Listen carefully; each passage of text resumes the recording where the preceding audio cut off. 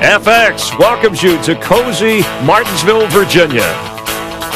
NASCAR's oldest and shortest track on the circuit for more than 50 years and in over 100 races, the best drivers in the world have been coming here to beat and bang. Today, this legendary half-mile track is set for another exciting 500 laps. Martinsville has always been about Beauty and the Beast. 500 laps of fender banging excitement set amidst the springtime brilliance of the azaleas, the way it's been for 50 years. Dick Berggren. The story here is a story of concrete and curbstones. The track transitions from an asphalt straightaway to a rough concrete corner. And right on the very bottom of that corner, a curbstone. Trip into that thing, trip the car right into the fence. Come at Yoakum. Dick, round two of six, and the short track wars takes place at NASCAR's oldest racetrack. There have been nine different winners in the last nine Martinsville races. So welcome to the new revolution of NASCAR short track racing on FX with a question today. Will there be a 10th different winner? And if so, who?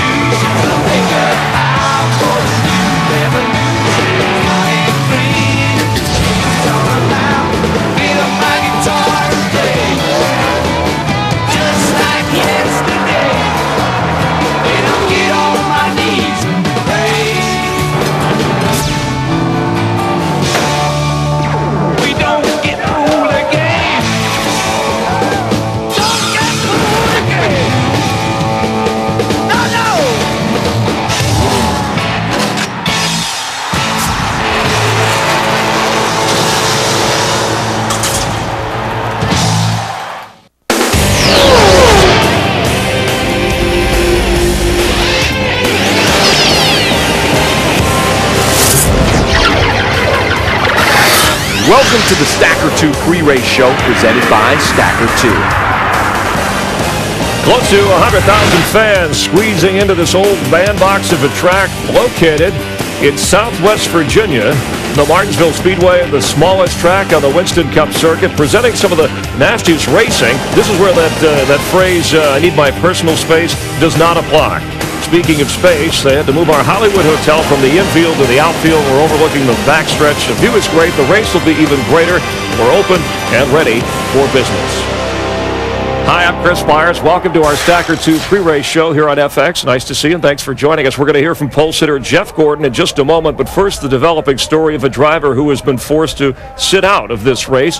NASCAR has parked Kevin Harvick after invoking temporary emergency action, meaning that Harvick is unable to race until a further decision is made by NASCAR. And unlike a suspension, Harvick cannot appeal a temporary emergency action move. So the driver of the number 29 Goodwrench car out of today's race. Remember, on Saturday during the truck race, Harvick, who was already on probation by NASCAR, intentionally bumped Coy Gibbs, knocking him from the race. This follows the Busch post-race incident three weeks ago in Bristol where Harvick got into it with Greg Biffle. Harvick will be replaced by Kenny Wallace, America's super sub, for today's race, and Harvick has uh, vacated the premises. He is not here, but of course, Darrell Waltrip and Jeff Hammond always are. Guys, nice to see you. More on your busy weekend in a moment, too. Glad to see you're safe and smiling. But we got to talk about this because Richard Childress, the owner, said, I understand the punishment for what Harvick did, but I think it's wrong to punish him in the Winston Cup Series. Uh, what's your thought on this, Yeah, Darrell? what's your thought on that one? No, you, you got to control the kids. I said that a couple of weeks ago. You got to have rules. You got to have discipline. What happened is NASCAR drew a line in the sand, and Kevin Harvick stepped over that line. Once you do, they have no. They, they don't have any options. They've got to discipline. They got to take disciplinary actions against this young man. I love this kid. Yeah, he's- he's great. I love his emotion. I love his excitement. I, he's got a lot of talent. but you got to be able to control your emotions when you're a race car driver. You got to hold those things inside of you and don't display them out on the racetrack like he's been doing. And Darrell, don't need to forget that Kevin did the same thing last year, the last race You're here. right. He got into a little bump, bumping incident with uh, Bobby Hamilton and got penalized then. So you realize all of a sudden this is kind of a trend, and NASCAR's got to get control of it. And the bad thing about it, and I believe Larry McReynolds will bear, back me up on this, it's unfair to what's happening to the crew. Is it not, Larry? Well, that's it. And I'm like Darrell. I love Kevin Harvick's style. I'd love to work with him one day, but the problems that he's has of late has been on a Busch Series race at Bristol and in a Craftsman Truck Series race here yesterday at Martinsville. But who really suffers? That race team. They had to come in here this morning, not only worry about making their race car good, they had to adjust the whole inside of that race car to suit another driver. So they're the ones that's really suffering today. All right, Larry, real quick. Uh, Darrell, do you think this will carry over into another race, this uh, punishment? Well, it, it very well could, but uh, at least you know this track where it's so tight and tempers are to get out of control anyway. He didn't need to be out there today. I, I tell you what, this kid's struggling with, in my opinion. Great success last year, frustration this year, and he's taking it out on all the wrong people. And the, and the team's suffering, yeah, but let me tell you, that's the best therapy. Right. That team's got to get a hold of that driver and get him back focused. Yeah, because he's great to watch on the Too racetrack. good, a, too good a talent to lose. Yeah, he's a lot of fun to work with. And uh, speaking of the crew, uh, yesterday, Jeff in the pit box, DW for the first time since his retirement 16 months ago. He took to the wheel in the Craftsman Truck Series also during Winston Cup Happy Hour.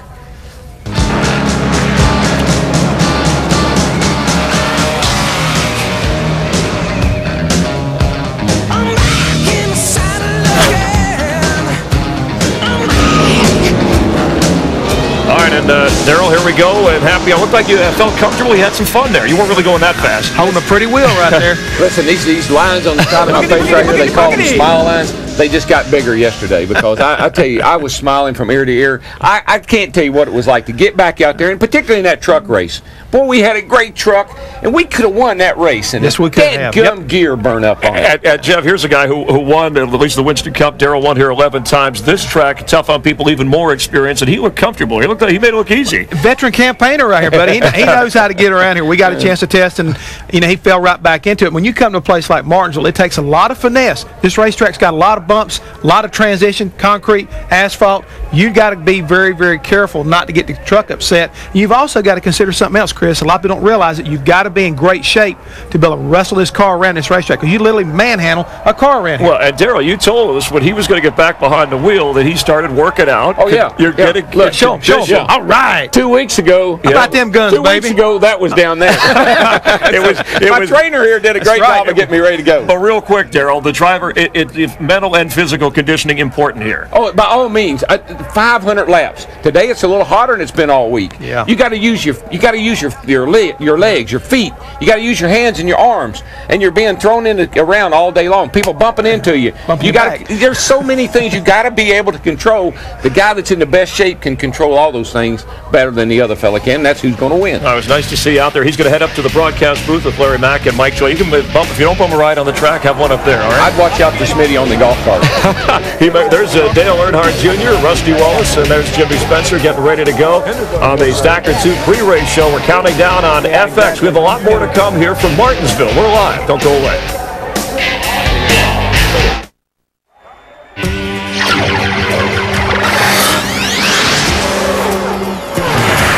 Welcome back to the Stacker 2 Free Race show. Welcome back live in Martinsville. A look at the current point standings. Matt Kenseth trying to flag down Sterling Marlin. They each have won twice this year. Look at rookie Jimmie Johnson, an impressive third. His teammate Jeff Gordon. He is a quiet sixth as we welcome you back. And uh, this the eighth of 36 races of the season. Let's go to uh, Jeff Gordon, who is with our Steve Burns. Thanks, Chris. Jeff Gordon's got a great record here. Three wins, starts from the pole today, led over a thousand laps. Is this today you can break that 15 race winless streak? I hope so. I mean, we certainly have the, the car and the team to be able to do it. You know, coming off of a great run at Texas, um, you know, it certainly helps. And sitting on the pole is going to help a lot too. But, you know, it's no different than any other weekend. We got to work hard. We got to communicate well and uh, hope that we get a little good fortune going our way. And uh, I think we can win a race. Jeff, you've assumed a leadership role in this sport. Do you agree with NASCAR's decision to park Kevin Harvick for a race? Oh, that's their decision, It's not mine. You know, uh, uh, I don't know how, how all that works, but I, I know that uh, you know, some of the actions that, that, he took yesterday weren't, weren't appropriate, but I don't know how that relates to today, you know. All right, well, best of luck today, Jeff. Thanks for your time. Well, in this season of the young gun, Jimmie Johnson has been one of the sharpest shooters.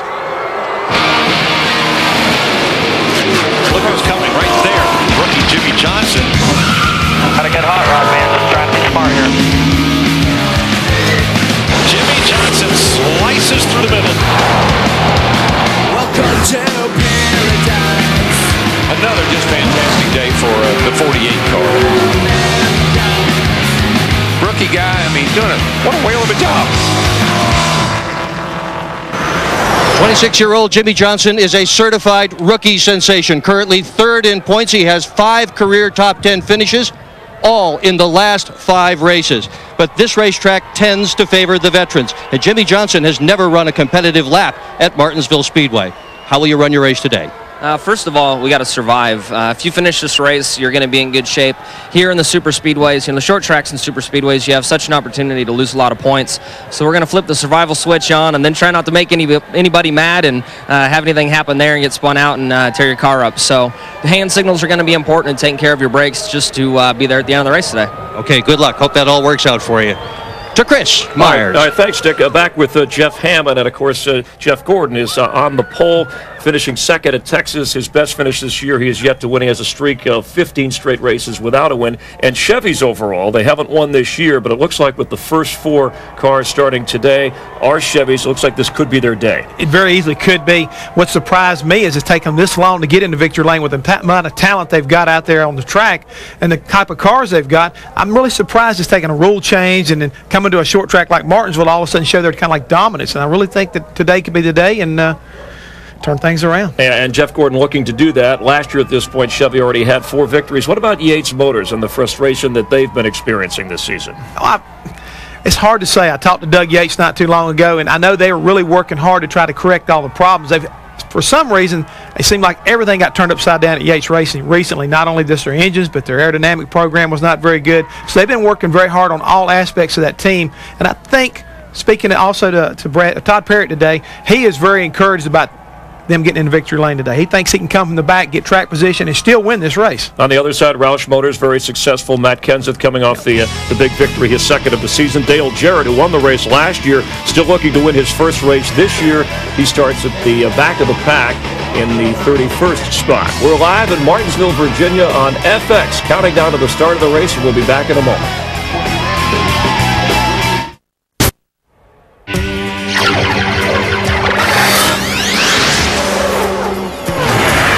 Welcome back to the Stacker 2 pre-race show. Crowd gathering here in Martinsville, Virginia on a warm spring day, ready for racing. Some fans passionate about Kevin Harvick, who's not racing. He's been parked, cannot appeal until NASCAR decides when they'll allow him back after uh, going a little bit above and beyond. Meanwhile, Ken Schrader's car, front and center, new paint scheme featuring M&M's new colors. He will drive this car in the next four races. The world will get a new color global color vote for M&M when all the votes are counted in June. The winning color will be on Schrader's car at Bristol in August. These are the possible new colors here that you can vote on. Purple Power, Think Pink, that's Jeff Hammond's favorite. And awesome, I kid because I care. And Awesome Aqua. We're going to hear from Jeff in a moment. He's already hustled down to his cutaway car. We're closing in on the start of the Virginia 500. Here is Jeff Gordon, who is on the pole. We'll be back on the Stacker 2 pre-race show on FX in a moment.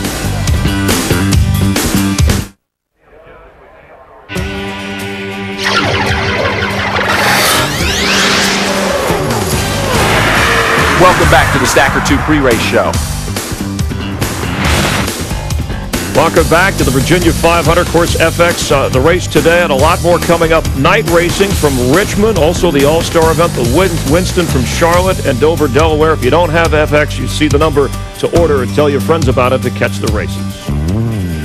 Nice to have you with us. The Virginia 500 presented by Yamaha. And the keys for today's race include brakes and gears. Our favorite gearhead, Jeff Hammond, is at the Ford cutaway car to show us exactly what to look for today. Jeff?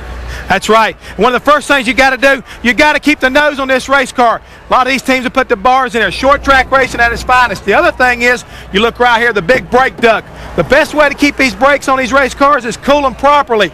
Extra fans, three hoses, getting these brake ducts where they really fit the caliper, cool these pads. If not, if you look here, this is a new pad, this is a used pad. Only 200 laps on this used one, and you can see pretty quickly, if you don't cool them, you'll lose them. We always talk about what might happen. One thing that may happen here today is a guy could experience gear problems. You've got to cool the rear gear like never before when it comes to a short track, and Martinsville is one of the worst. Proper ducking, extra ducking, all above has got to be done to keep these rear gears cool. Otherwise, you'll fall out of the race. If you look at this graphic we brought up since 1949, it's not wrecks that gets everybody in trouble. Believe it or not, it's rear gears. It's not brakes, it's a rear gear. It's leading the pack. Believe me, you got to keep it cool today, guys.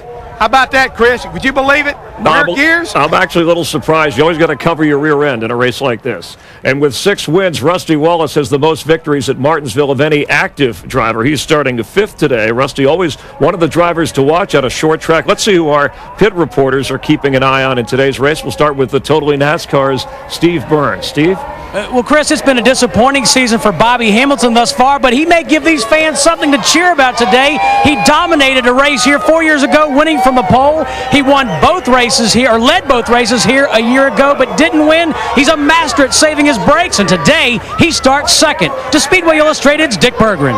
Rusty Wallace is the man at Martinsville. 15 top fives, more than any other driver. Six wins, more than any other driver in today's race. He's led over 3,400 laps today. He said the car is absolutely to his liking. Rusty Wallace is a clear favorite. To Matt Yoakum. Dick, for Tony Stewart, all you have to do is mention three words short track racing. A former Martinsville winner, Smoke. How jacked up are you to be back here today? Really excited. I mean, our car's been driving really good all weekend. Uh, you know, Greg Zipadelli and, and everybody on the team's worked really hard this week to get the Home Depot Pontiac where it needs to be. And you know, we were second quickest at the in the first session yesterday and quickest on the second session. So. Uh, you know, he, we're pretty excited about it. I mean, you never know what's going to happen at Martinsville. A lot of things can happen on on the bull ring here, but uh, if we can keep the sides on this thing all day, I think we definitely got a top five in this and maybe a win. Tony Stewart, four short track wins on his resume on the drive for five today. Chris? All right, thanks, Matt. Guys, here's who our analysts like. Jeff Hammond going with Hamilton, Larry Mactix, Terry Labonte, and DW going with Ricky Rudd. We're just about ready to drop the green flag. At the last short track race in Bristol, we saw drivers fighting both in their cars and out of their cars, so who knows what we're going to see in this race today. Hope you've enjoyed the Stacker 2 pre-race show. Stick around. Darrell Waltrip, Blair McReynolds. Oh, and those famous words that DW says are right around the corner on FX.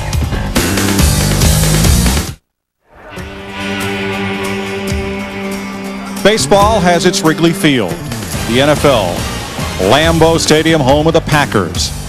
For racing, big league racing, its roots run deep at Martinsville, Virginia.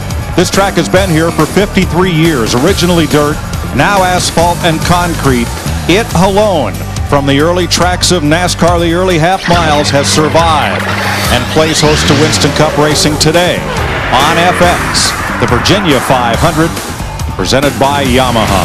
What a wonderful place this is, nestled in the foothills of the Blue Ridge Mountains long been my favorite track to come to, and the reason, as you'll see in a minute, is just all the fender flailing action. Mike Joy with Larry McReynolds, who won here with Ernie Irvan and Darrell Waltrip, an 11-time Martinsville winner. This place is just so special. Well, what I've always liked about this place is, and the first time I ever came here, you always felt like you could reach out and touch the fans. It never, you drive off in that first turn, it's like you were driving off into a sea of people.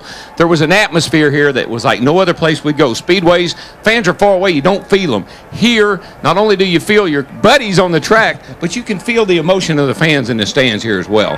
There's not there's no super speedway like it. That's to be certain. But this track is shaped like a paperclip, Larry. It's two drag strips connected by two U-turns in that long winding pit road. Just one pit road now. So what's more entire uh, what's more important today? Tires or track position? Track position. You got to have that track position. I looked at the final practice sheet from yesterday. Everybody's running the same speed. Sterling Marlin told me this morning. He said you can be two and a half, three tenths quicker than a car. You can be on fresh tires. He can be on old tires. You catch him. You know how you get by him? You go up there and bump him out of the way. Say, but I will say this: as hot and slick as this racetrack is, last hundred laps or so, I want four fresh tires on that car. That's what won Dale Jarrett this race a year ago. Yeah, and I do believe that pit pit selection, qualifying, could also be a big key to the success of this race because where you are on that pit lane will determine can I get four because you're going to be in, in and out first. Back down the pit lane, get trapped in. Maybe you only get two just so you can get out with the other guys. The corners are concrete, the straightaways asphalt, the transitions are difficult, as we'll discuss with Darrell, who practiced Stacy Compton's car here yesterday.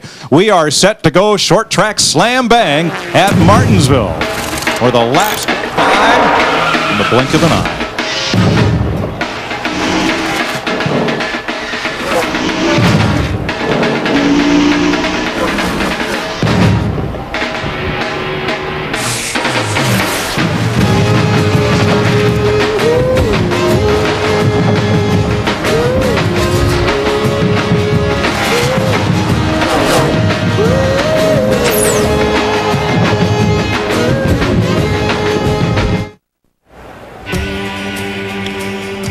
Welcome back to Martinsville Speedway. Those front stretch grandstands, the suites are packed all the way around turns one and two and three and four. They built seats to the sky here, much like Bristol. And the fans are here for action, and they're going to get plenty. Let's go trackside. Ladies and gentlemen, would you please rise for today's invocation from Mr. John Fox of Raceway Ministries, and then our national anthem will be played there following.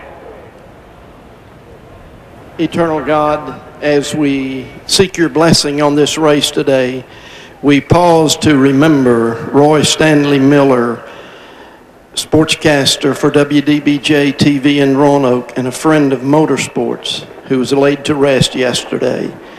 We thank you for his life and, and for the contributions that he made to our sports enjoyment. We pray your blessing upon his family and comfort and strengthen them and, and, and his colleagues and his co-workers in their grief. In Jesus' name, amen. And now our national anthem brought to you by the United States Air Force Heritage of America Brass Quintet and Honor Guard from Langley Air Force Base in Langley, Virginia. And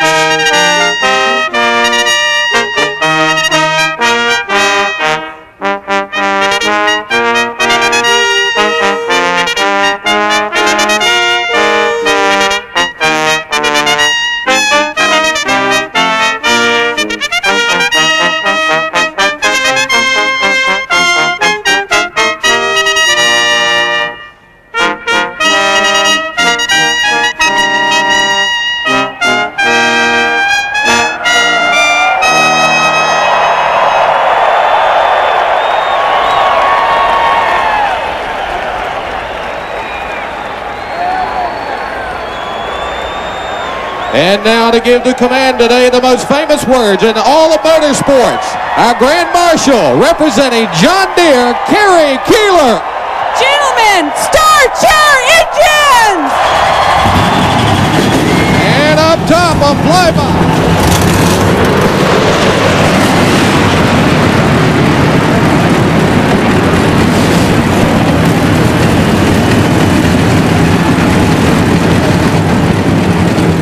As those engines come to life at this little track, I think everybody's heartbeat goes up at least 10 per minute. Yeah, well, when those planes just flew by, mine did. I know that. How about it, Burns?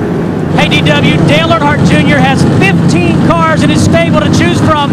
This race car races in Martinsville and nowhere else. In fact, they tested here and ran over 600 laps. He's never finished better than 11th here, but today he starts third. Matt Yoakum. Steve, one driver to watch today could be the most recent Martinsville winner, and that's Ricky Craven. He brought back the same race car that dominated here last fall, but he has a different setup. After testing here a few weeks ago, they ran over 500 laps in testing. They hit upon a different kind of setup.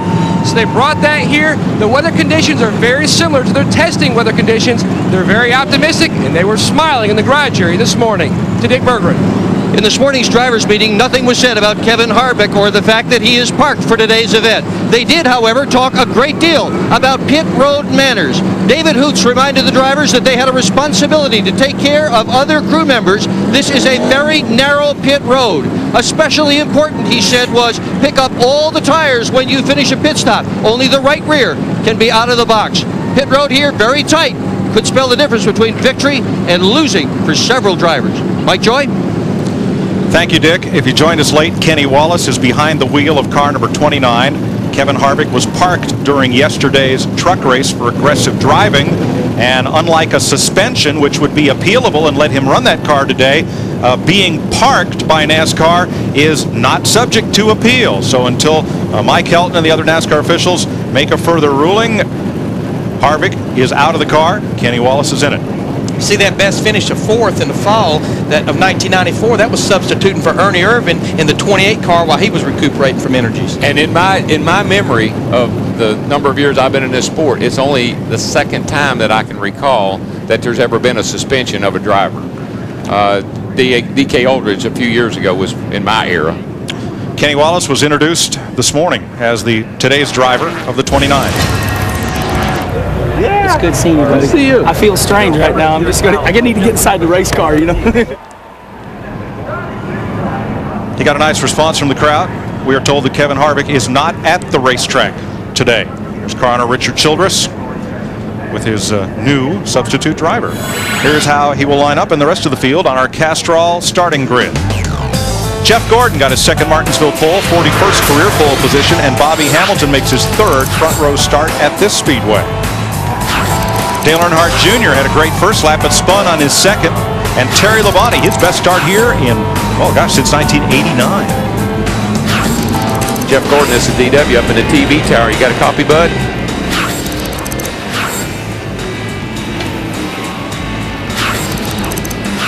Look real pretty right there. Jeff, this is DW in the TV tower. You got a copy?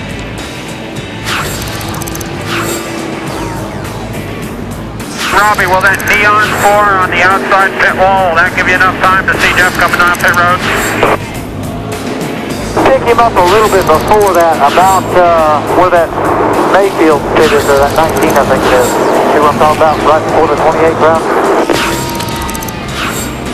We have the right frequency for Jeff Gordon, but there's a feature they build into these radios called private line, which, unless you have the right code, won't allow your transmission to go through. Well, let me just say as a driver, uh, the last thing I want to do on a little track like this with just a couple laps to get things ready to go is talk to somebody in a TV tower.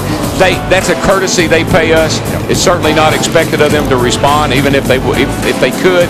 But I think we're having a problem with our radio today. That's twice we've tried, and uh, we'll have to work on that. See if we get a hold of somebody later. Of course, he's trying to get his pit road speed reading off of his tach, what the RPMs are for that 35 miles an hour. Just trying to make sure they got everything down pat here before we go racing. Yeah, we only got three laps, so I mean you're around here real quick, and you want to get some heat in the tires. The Tires are really hard to hook up first couple of laps, so they've got a lot on their mind. And uh, talking to DW in the TV tower may not be one of his priorities right now. Only one car went home, and that was Randy Renfrow in, uh, in a Dodge the only car that failed to qualify. Our Dr. Scholl's race analysis 43 cars, 500 laps here at the Martinsville Speedway. That'll be 263 miles around this pretty much half mile racetrack. They can go 90 to 95 laps, Larry. Well, actually, they can go a lot further than that. It's about 150 to 160 laps. But one thing that we see the air temperature is 79 degrees, track temperature is 95, a lot warmer than anybody had yesterday in practice. Yeah, Sun's out today. And the thing about that, Larry, is it's harder on the driver. It's also harder on the cars. You run in these tight confinements here, bumper to bumper the way they do. You bend that grill in a little bit, that water temperature goes up, brake ducts closed off, you're out of here. That's our analysis. Dr. Scholl's, look, feel, do better. Now, one they, we need to make is the 29 car with Sim sitting on the backstretch right now. Not only do they have a new driver in that car, since it is a driver change, they qualified seventh. They have to start at the rear of the field per NASCAR rule because of a driver change. And you know what, DW? When Jeff Gordon takes the green flag at the start-finish line, the 29 car is going to be somewhere over on the backstretch. But if I was Kenny Wallace, I wouldn't be disappointed in that because he hadn't even been in this car. He's going to need a few laps just to get up to speed. You can't just jump in there and come right up to race speed. It's going to take a little lap, a few laps of practice.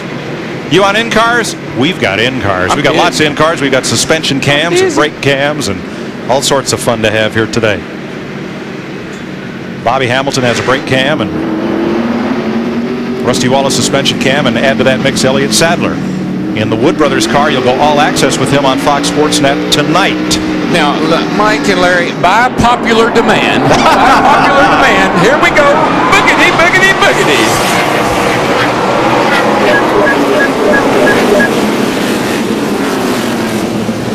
Will be fighting for the bottom of that racetrack. Fast way around, lots of grip right around that yellow curb. Bobby Hamilton tries to outbrake Jeff Gordon getting into turn three, but the grip's down there at the bottom. Well, so many times if you can get up on that outside, everybody's trying to get to the bottom. And you can make some passes back in the field, particularly if your car's hooking up pretty good on the outside. Like Bobby Hamilton's trying to do for the lead off turn two. He's got it. You saw Jeff Gordon in 24 get a little bit sideways when he put the throttle down, and that's going to be the big thing about this weather change. This racetrack is real slick, getting forward bite. The rear wheels will not hook up when you accelerate off the corner. For Jeff Gordon, mission accomplished. He's led this race, five bonus points. Now he can settle in for what they hope is a long run. First lap Bobby Hamilton has led since uh, Talladega last October. Well, there's just so much you got to do here. You got a really low gear with 800 horsepower, and like Larry said, hooking that all up is going to be the key. And see, everybody's fighting, and watch that 14 car. I'm watching him particularly. They're all fighting for the bottom, and he has made a bunch of passes on the outside. That won't be the way to go later on, but right now, with them bottling up around the bottom, it was the way to go, and he made moved way up. There goes Ricky Craven up on the outside. Ricky Craven's car, we heard Matt Yocum report, different setup, but same race car. That car worked pretty good up that second route when he won the race here last fall. Ooh, Kurt Busch uh, got a little high right there entering turn number one, late entry, and squirreled it up and now finds himself at odds with Mike Skinner. Matt Kenseth's grill is pushed in from the back bumper of uh, Dave Blaney. Yeah, that's one of the problems of starting mid-pack, is you know you're going to get a little damage, and that you can't take a lot of damage on these front ends here and keep everything cool. Ricky Craven running hard on the outside. He passed Ricky Rudd. Now he goes after Robby Gordon. He's really getting into turn three. I mean, he is flying down in there. And, and normally you'll pay a price in the center of the, the corner for doing that, but his car really turned through the middle and hooked up off the corner. Darrell, you have to use up a lot of brake, though, going into the corner that hard. It's okay early. Do what you got to do early. Get yourself in position and then ride. Don't worry about it right now. Just use it up. Well, Craven fought to get by that pack. Now he's in clean traffic. This is when Mike Beam, his crew chief, would say, okay, settle down, float that thing in the corner, stay off the brakes. Give him a little work, give him a little help here. He's just trying to clear some of that traffic, get himself in, uh, up near the front. He'll be fine. Elliott and Spencer, the two Dodges side by side. It's a battle for seventh. Got to race for the lead here. Going back to the front is Jeff Gordon. I noticed his car in practice. Uh, it was a little slow in the get-go, but it really is consistent. Jeff Gordon I'm talking about. And that's a product normally of low air pressure. They will lower the air pressure in these tires down to about 10 pounds on the left side. They'll almost look flat. And around 19 or 20 on the right side because over a long run here, it will gain so much air pressure from the heat, the tires will start feeling like basketballs bouncing. You got brake heat. Brake heat is a big factor on the front tires here. That's why you got to start them out so low. And then the concrete, the front end wants to chatter a little bit, creates a lot of uh, tire pressure. Andy Hillenberg, who was here with the Dave Marcis car pretty much as a field filler, goes to the garage.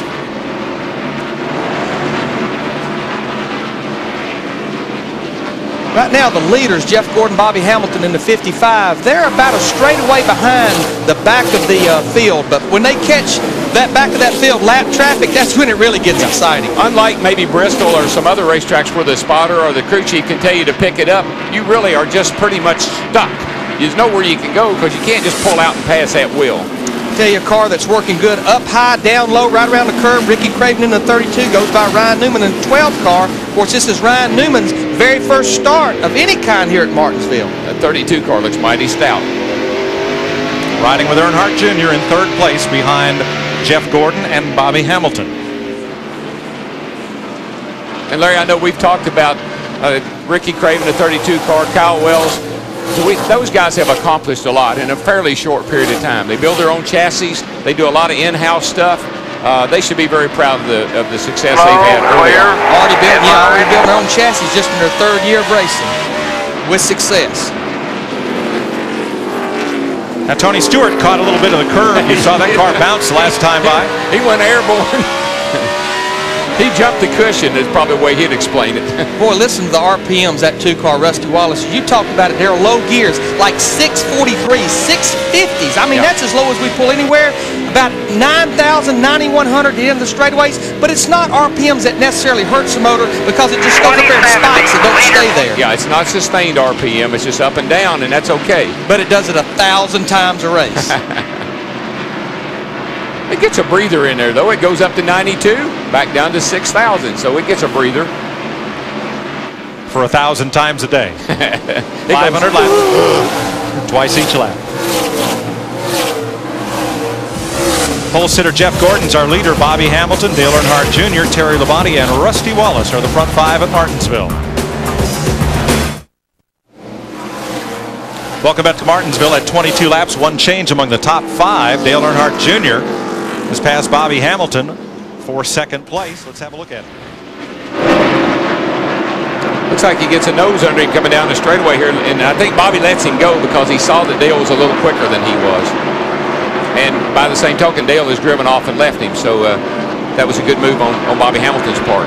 The worst thing you can do here is run side by side. Oh yeah, and oh Schrader's got a flat tire. Schrader's wobbling around here.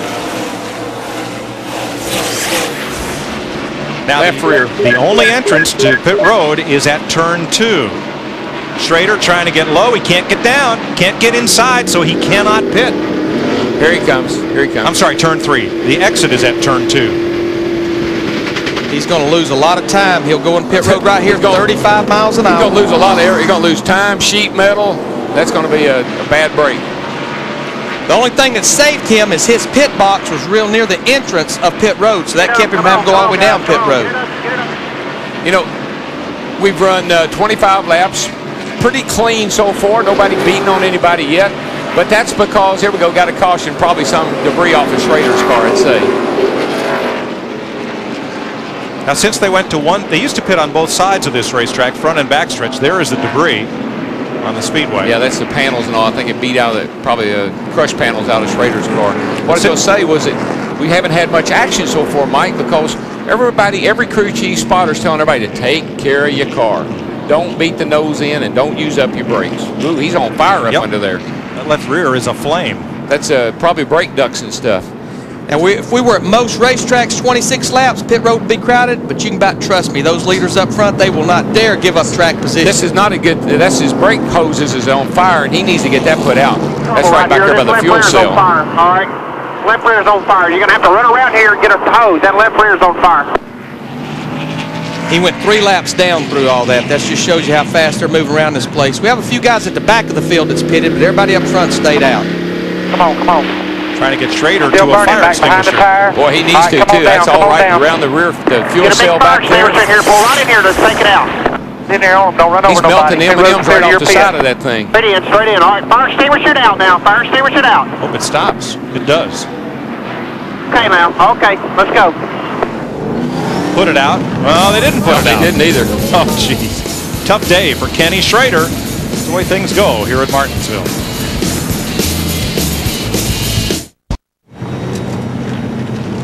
That M is charbroiled.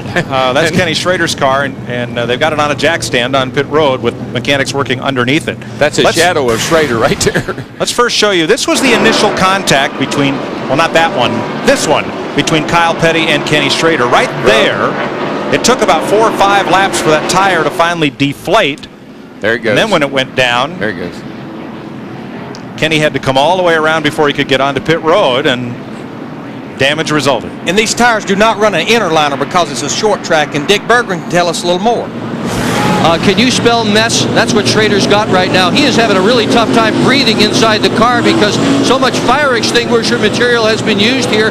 And this tire, and that's what it is, it's a tire that's all wrapped around the rear end housing, continues to smolder and burn. So Schrader keeps adjusting his face mask. He keeps working on his air hose to try to get clean, fresh air.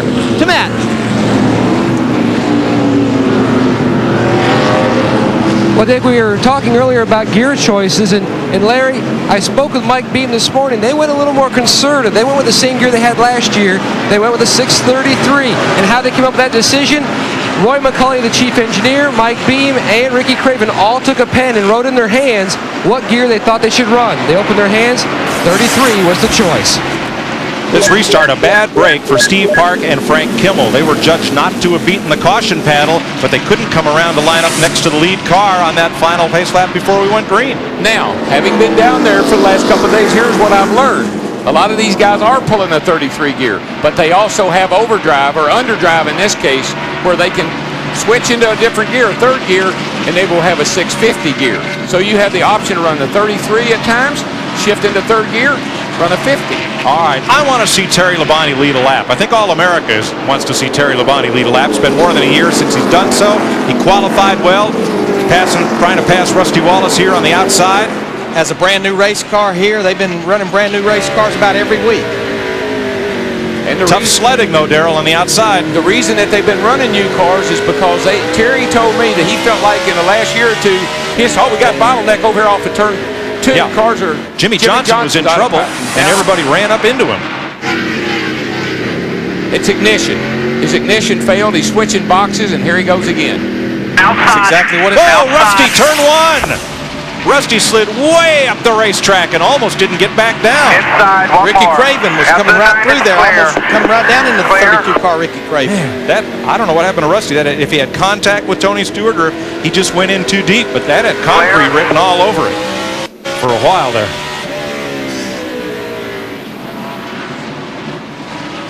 Let's see what happened here. Oh, he just Tony gets a run on him, and Tony thinks he's going to give him some room, and it just didn't happen. And it didn't look like Rusty knew he was there either. Mm, probably knew he was there, but probably wasn't going to give him any room. Just follow up on Terry Labonte. He told me the last couple of years he thought their cars, they, their design, their changes that they made their cars, he and Dehart wasn't working for him. He and Jim and uh, Jimmy Long are getting along a lot better. They're communicating a lot better, and they're building new cars the way Terry likes them. Went off that good run at Texas last week. Good top 10 finish. And just real quickly to update you under that caution, that pretty much what happened is what we anticipated. Every car from about 26th place back pitted. That's how Frank Kimmel and Steve Park got trapped in the pits by the pace car. Now, they're already on different agendas from the leaders. Darrell, what those guys want is this race to go about 30 or 40 laps. Another caution, they'll stay out because the leaders have to pit. We're going to see that all day long. People on different pit strategies and different pitting agendas. Ricky Craven, there is the separation to race leader Jeff Gordon, 3.3 seconds pretty much. You know, Dale, just to go back to that gear deal just for a second, yeah, people have put like a 33 gear in, right. and your third, that's for one to one in fourth gear. Then your third gear is like maybe a 118. Well, what happens when that car on fresh tires, you can stand that lower gear because the rear wheels will hook up. But once it starts sliding around, then you go to that higher gear and it'll help the rear tires. Well, you're right, Larry. And Dale Jr. just drove off in the corner there, and he almost ran the back of Bobby Hamilton, and he locked it up and slid way up the hill. But that's it. That is really good thinking, and I, I would have never thought about that coming here with that gear selection that way. Gives you the best of both worlds. The only thing you have to be careful when you're in third gear and not one to one, a lot of heat is being generated. Not as much maybe in the transmissions that we have now. Here we go, Ricky Craven in that 32 car. This is a battle with uh, Terry Labonte. This battle for eight. And if you watch Craven's car, how it accelerates up off the corner, he's in that 650 gear mode right now. When he gets in clear sailing, he'll pull it back into the 633 gear mode and cruise. See if we can see what happened to Dale Jr. down here. It looked like he was coming in here too hot, and he locked up the brakes, and yeah. Bobby Hamilton in the 55 gets fired.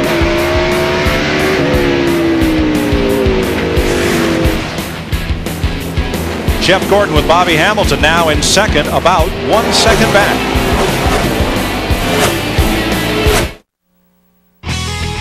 Winston Cup Racing on FX is brought to you by Beechwood Aged Budweiser with the crisp, clean, and refreshing taste known only to the king of beers.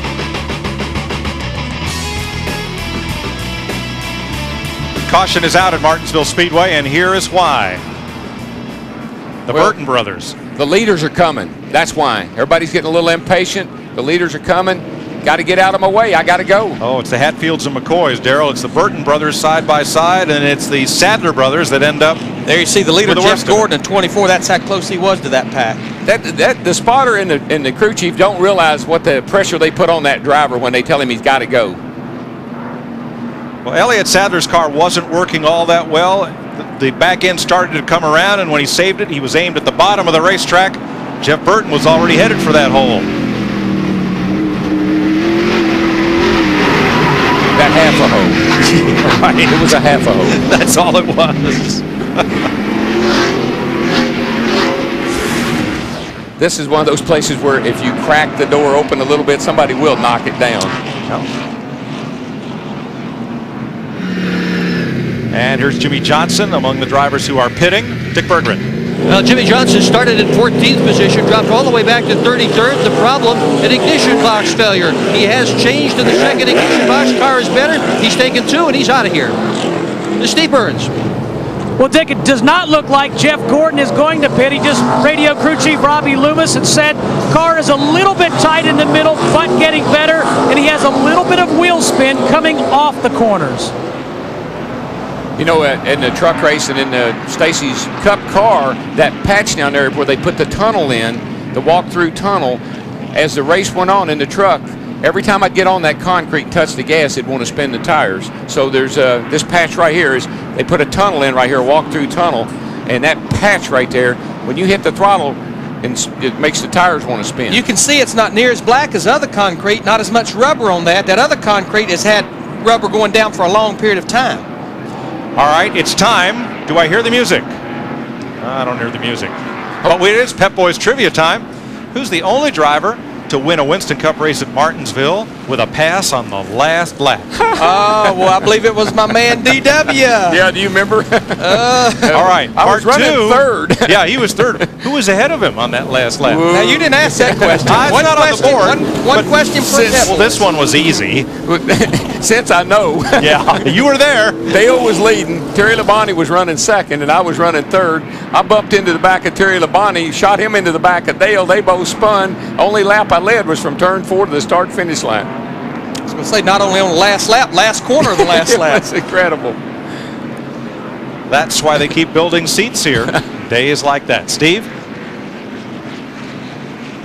Mike Ricky Rudd is listed in the 10th position right now, but he's telling his crew chief, Michael McSwain, that he thinks he's a 10th better than the leaders. He has 45 Winston Cup starts here, and he said he's going to save his car and more specifically his brakes for late in the race. Getting set for the restart, the leaders did not pit. Gordon, Earnhardt Jr., Hamilton, Stewart, Craven, who's come all the way up to fifth place. As we watch the speed build from Jeff Gordon. Pace car brought him down to 40 miles per hour. There you see it growing to start finish line. Right at 100 miles an hour, 102 miles an hour. Roll out the throttle early. Down to mid 50s. Middle one and two. Now they're getting up to speed. About 114 miles per hour at the end of the backstretch. Larry, the trouble with pitting when you're in the back of the pack, when you take the restart green flag, you're a half a lap down. Yeah, they're no, they're they're single file for the most part, and that's the reason getting at 50 something laps. The leaders elected to stay out. The guys at the back keep pitting, hoping we'll have a long enough run. The leaders will have to pit, then they can get the track position. One thing that was I noticed was difficult is on this particular tire at this racetrack, it takes two or three laps for them to really get the, get the traction that you're looking for. You need the whole racetrack to move around to get the tires in, working in before you get going.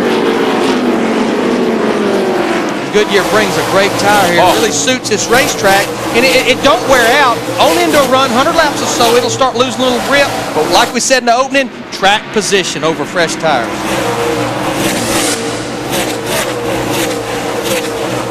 Tony Stewart with a run on Bobby Hamilton. And you see what Bobby does? Bobby is looking in a mirror. He sees Tony's there. He goes up the racetrack. He knows he does not want to cut down in front of Tony and take a chance on getting wrecked right now. But look who's right behind those guys. I mean, he is working on. He's working high, low, just like we said, Larry, and he is coming to the front. He's getting in the corner. I mean, he really flies down into the corner. Matt? Well, Mike Ricky Craven in the 32 car is trying. As you can see, he closes in on the 20, trying to fill that rear view mirror of Tony Stewart. Now, Ricky reported in under that caution that his car is a little bit tight in the center of the corner. They're talking about maybe an air pressure adjustment on their pit stop. He started 18th, now up to fifth. But one thing he did say, if he runs the line that he wants to, the car gets even tighter. So he's had to adjust his line to how the car is reacting.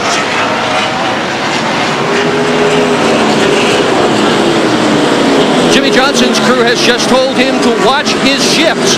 When he changed the ignition box, they lost the rev limiter. So he's got to be very careful that he doesn't over-rev the engine, shifting the car from here on. And what they're talking about, these cars have two ignition systems in them. One has the rev limiter in it. One will have a chip in the rev. It's about a 9200, I would imagine, 9200 RPM. When you go to the other ignition, they don't have a rev limiter in that ignition. That's for the end of the day. When you want to maximize everything you can, you switch to the other ignition, get rid of the rev limiter. But now he's he's that way all the way to the end. Just look how far the RPMs fall down. 48, 4900. That's down in the middle of turn one and two, all the way like we talked about, 9,000 in the backstretch. There you see he's about 14 seconds behind leader Jeff Gordon and losing. That's two-thirds of a lap.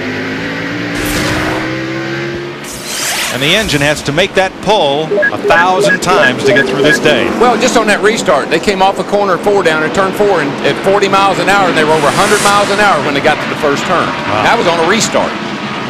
That's how quick you accelerate. Let's go back to 18th place, where Jeremy Mayfield is working on a Robby Gordon. This is the car that Casey Atwood, who drove the 19 last year, actually sat on the pole with at Phoenix. They didn't come and test here. They went to another short track, Greenville, South Carolina, and tested like a lot of teams did, just trying to work on their short track program without burning one of the seven NASCAR tests. But you know something I also learned, Larry, the last couple of weeks is Caraway, the little racetrack where we took the truck. A lot of teams are finding out Greenville's a great place to go test. It's nice and flat. But Caraway has a lot sharper turns. You get your car, or your truck to turn at that racetrack, it seems to work good here. Dennis Setzer, who won the truck race yesterday, tested for two days at Caraway before he came here. The teams are allowed to test at non-Winston Cup tracks as much as they want. Just only seven times a year at tracks where the Winston Cup Series get out of our way. actually races. I, I, I tell you, and Larry and Mike, y'all have to help me here. I got information overload. I, have been down, I've been down in the pits for two days, and I found out more things uh, that the guys are doing and not doing than, than I ever have. Now, as we're with Dale Jarrett, as we first took that shot, you heard him ask, ask the 90 spotter if he'll, he'll give me some room. And it backs up what Larry said at the top of the show. It's easy to catch somebody here. Boy, it's hard to pass them. They're running the bottom. You see Rick Mast in the 90 car right around the bottom. Dale Jarrett keeps searching around. He just can't get by him. This is the same car that Dale Jarrett run both races with last year and actually won a year ago with. How about this guy right here, though, that won the fall race? Ricky Craven in that 32. He goes by Tony Stewart. That's a battle for fourth place. OTIDE E looks pretty good today, boys. It's always, that car has, I don't care whatever, who's driving TIDE, they win at Martinsville. You've won, Ricky Rudd's won, Ricky Craven's won. Pretty neat. 71 of 500 laps are complete. Settle in for a long haul here at Martinsville. Jeff Gordon is our leader.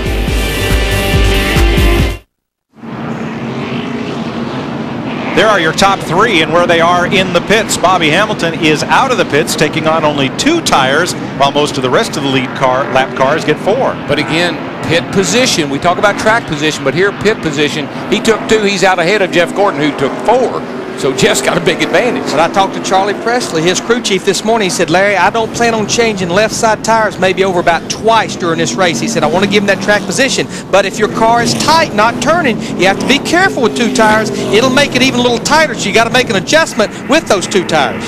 All right, let's show you why we're under caution.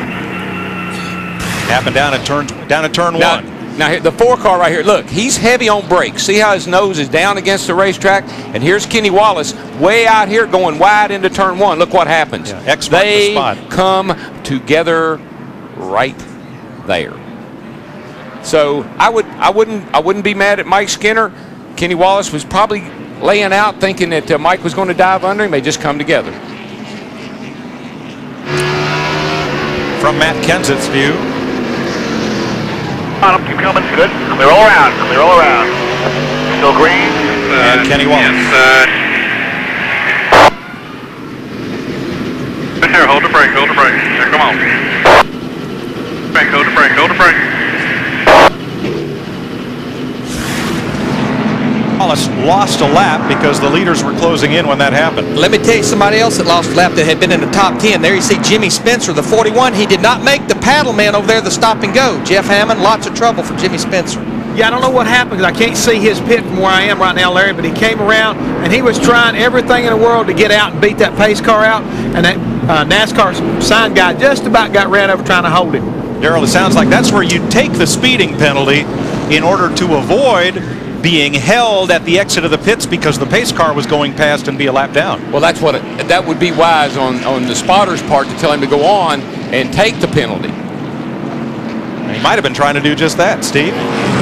Mike Jeff Gordon tells Robbie Loomis the car just keeps getting better and better. They changed four tires, no other adjustments on that 24. Matt Yocum. Steve, the 32 car took on four tires, no adjustments. Remember, we told you the car was just a tick tight, but they chose to leave it alone to Dick Berggren. Kurt Busch, who bounced his car off happy hour yesterday afternoon, came in and took four tires, a little wedge adjustment to the back end. The car was a little bit loose in. They also adjusted the air pressure. He came in as good as 12, came out in 18th spot. He's running very well today. Mike? Thanks, Dick. 79 laps complete. Only Andy Hillenberg in the garage area, though Casey Atwood's car is off the track and under repair. Kenny Schrader's back on the speedway, and we're getting set to go with this restart. Hermie Sadler alongside as we get set for the restart. Well, let's crank it up.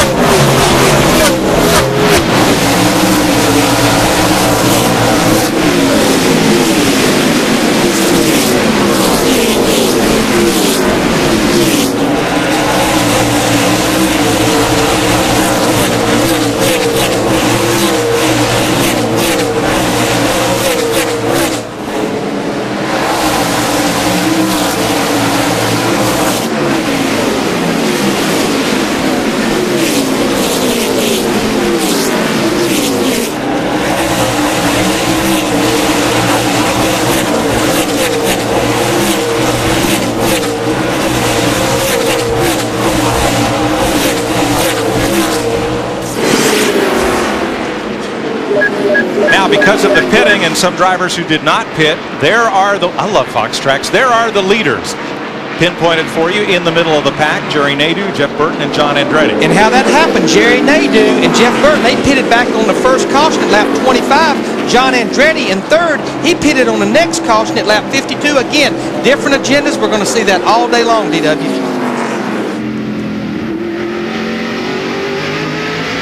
First time that Nadeau has ever led a Winston Cup short track race. Rusty Wallace had a tough spot uh, stop. He's back in 21st.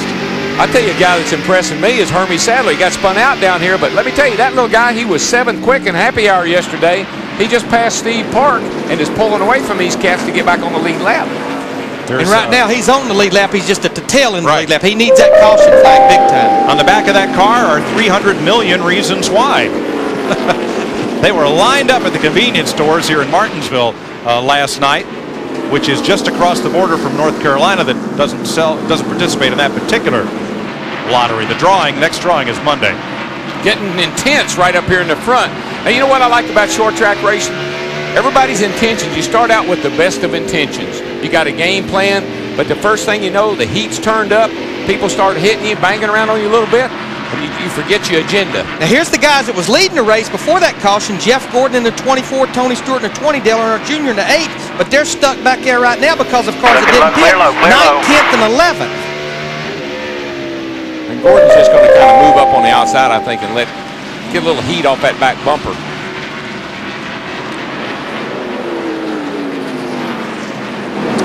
Darrell, he's going to run up uh, against uh, some traffic ahead that's a little slower. Might not be able to get down to the bottom. He may not be it, but one thing I noticed again about his Still car there, in still there. practice, he was a little slow on four new tires, but the car got better in the longer run. And I think we saw that at the beginning of the race as well. But they're going to have a rearview There, mirror of Ricky there. Craven in that 32. Still He's there. pulled right up to the back of these guys right now. He wants to stay behind Dale Earnhardt Jr. while they have Jeff Gordon trapped on the high side. Craven has been still the there. best car Clear, here clear, through these first 88 laps. He really has, and that's just amazing. Now, the guy that, that pitted while ago that took two tires, he's the only car out there right now. He's in sixth position that took two tires that we know of, and he's the first car that pitted on the last caution. He's pulling up on John Andretti in the 43 car, remember, that stayed out that last time. And the car looks good, Larry. I mean, he's getting good forward bite. He's cutting through the center pretty good. Uh, those two tires are working for him right now. And you better believe those other 42 crew chief are paying close attention to what those two tires Oh are yeah, I mean they got the watches on him. They're watching what he does, and they'll be uh, they'll be mirroring that later on. And while everybody else is running side by side, Bobby Hamilton's in the rocking chair. He's not part of this kind of battle right here. And that's so good here. You don't want anybody in front of you, you don't want anybody behind you. Getting good, cool air to your brakes, and ain't nobody beating your back bumper off. Third car in line is Jerry Nadeau. He is our leader. Jeff Burton is second. Again, out of sequence pitting. And here's Craven and Gordon Yeah, going at it. Craven come off turn two over. He got sideways and allowed Jeff to get back up under him. Here he goes. I I tell you, Gordon's car just gets better the longer it runs, Larry. It looks like they're low air, and the setup they've got, he's kind of set up for the long runs. Hut Stricklin in the 23 car there driving for Bill Davis. He's on the lead lap off the pit sequence as well. In 10th place, so these guys are fighting way back in the pack here. But he can't hold the bottom of the racetrack. And I'm sure Gordon Spotter, Ron Thiel relaying that to Jeff.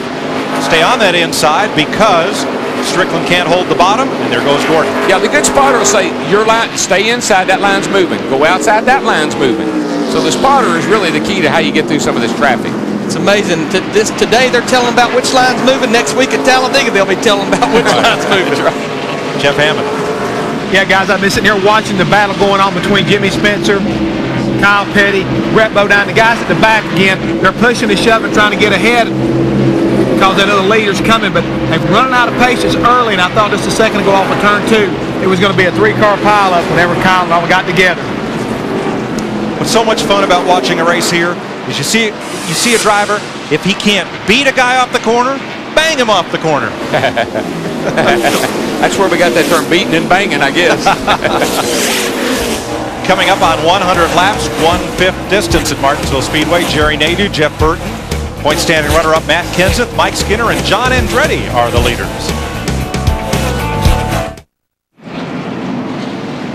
Folks, can we time these cautions? We don't plan it this way, I promise you. We'll run to another one, and here's the reason why. Jimmy Spencer cut down a left rear tire going into turn one, spun the car up to the wall. Caution came out, Spencer on pit road. the left side tires, Larry alluded to it earlier, they only have 10 to 12 pounds of air in them. So uh, this is right after, you know, we go back to racing after a caution. If you hit anything or if you abuse those left side tires just ever so slightly, you can cut one down or even knock it off the rim. And that looks like, I didn't see any contact. Did you, Larry? Didn't see it there at the end of that replay right there, but he hits left front pretty hard on the wall. Now Spencer will go a lap down on his stop. Pit road is open, and among the five leaders, John Andretti is the only one to pit. And remember, he didn't pit the last time. He pitted on lap 51 about 50 laps ago. Ward Burton in the 22 as well. With that low air pressure, if, if you pay such a price, you got to do it because if you go on a long run and the buildup gets in the tire, you can't drive the car. But boy, you got to be careful with them when they're down that low, like they are here. So we're under caution as Ward Burton and John Andretti complete pit stops. Quite a number of the cars one lap down have now come in.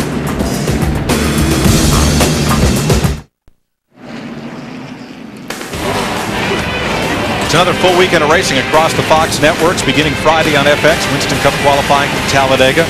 Saturday, Winston Cup practice followed by the Aaron's 312, the NASCAR Busch Race on Fox. And Sunday, NASCAR this morning, the Aaron's 499 presented by Pepsi on Fox and NASCAR Victory Lane All Access Michael Waltrip. Green flag. watching pit road is more exciting, I think, sometimes than watching it on the racetrack. We do need to document Hermie Sadler and Steve Park. Those two and one made their lap up when that caution came out a while ago. And also Kenny Wallace made a pit stop, but he stopped with the front right front wheel outside the box and got held for a lap. Frank Kimmel in the 26 car, remember he was over in Nashville running the ARCA race on Friday, and uh, Joe Nemechek, who drove the 26 car at the beginning of the year, actually qualified this car on Friday. He's a lap down right now. Yeah, Kenny Wallace came in and uh, he was out of the box just a little wee bit. And what we mean by out of the box, you have to have at least the right front, the left front, and the left rear tire inside the pit box, inside the yellow lines. And I'm sure that whole crowd down there singing yesterday right now.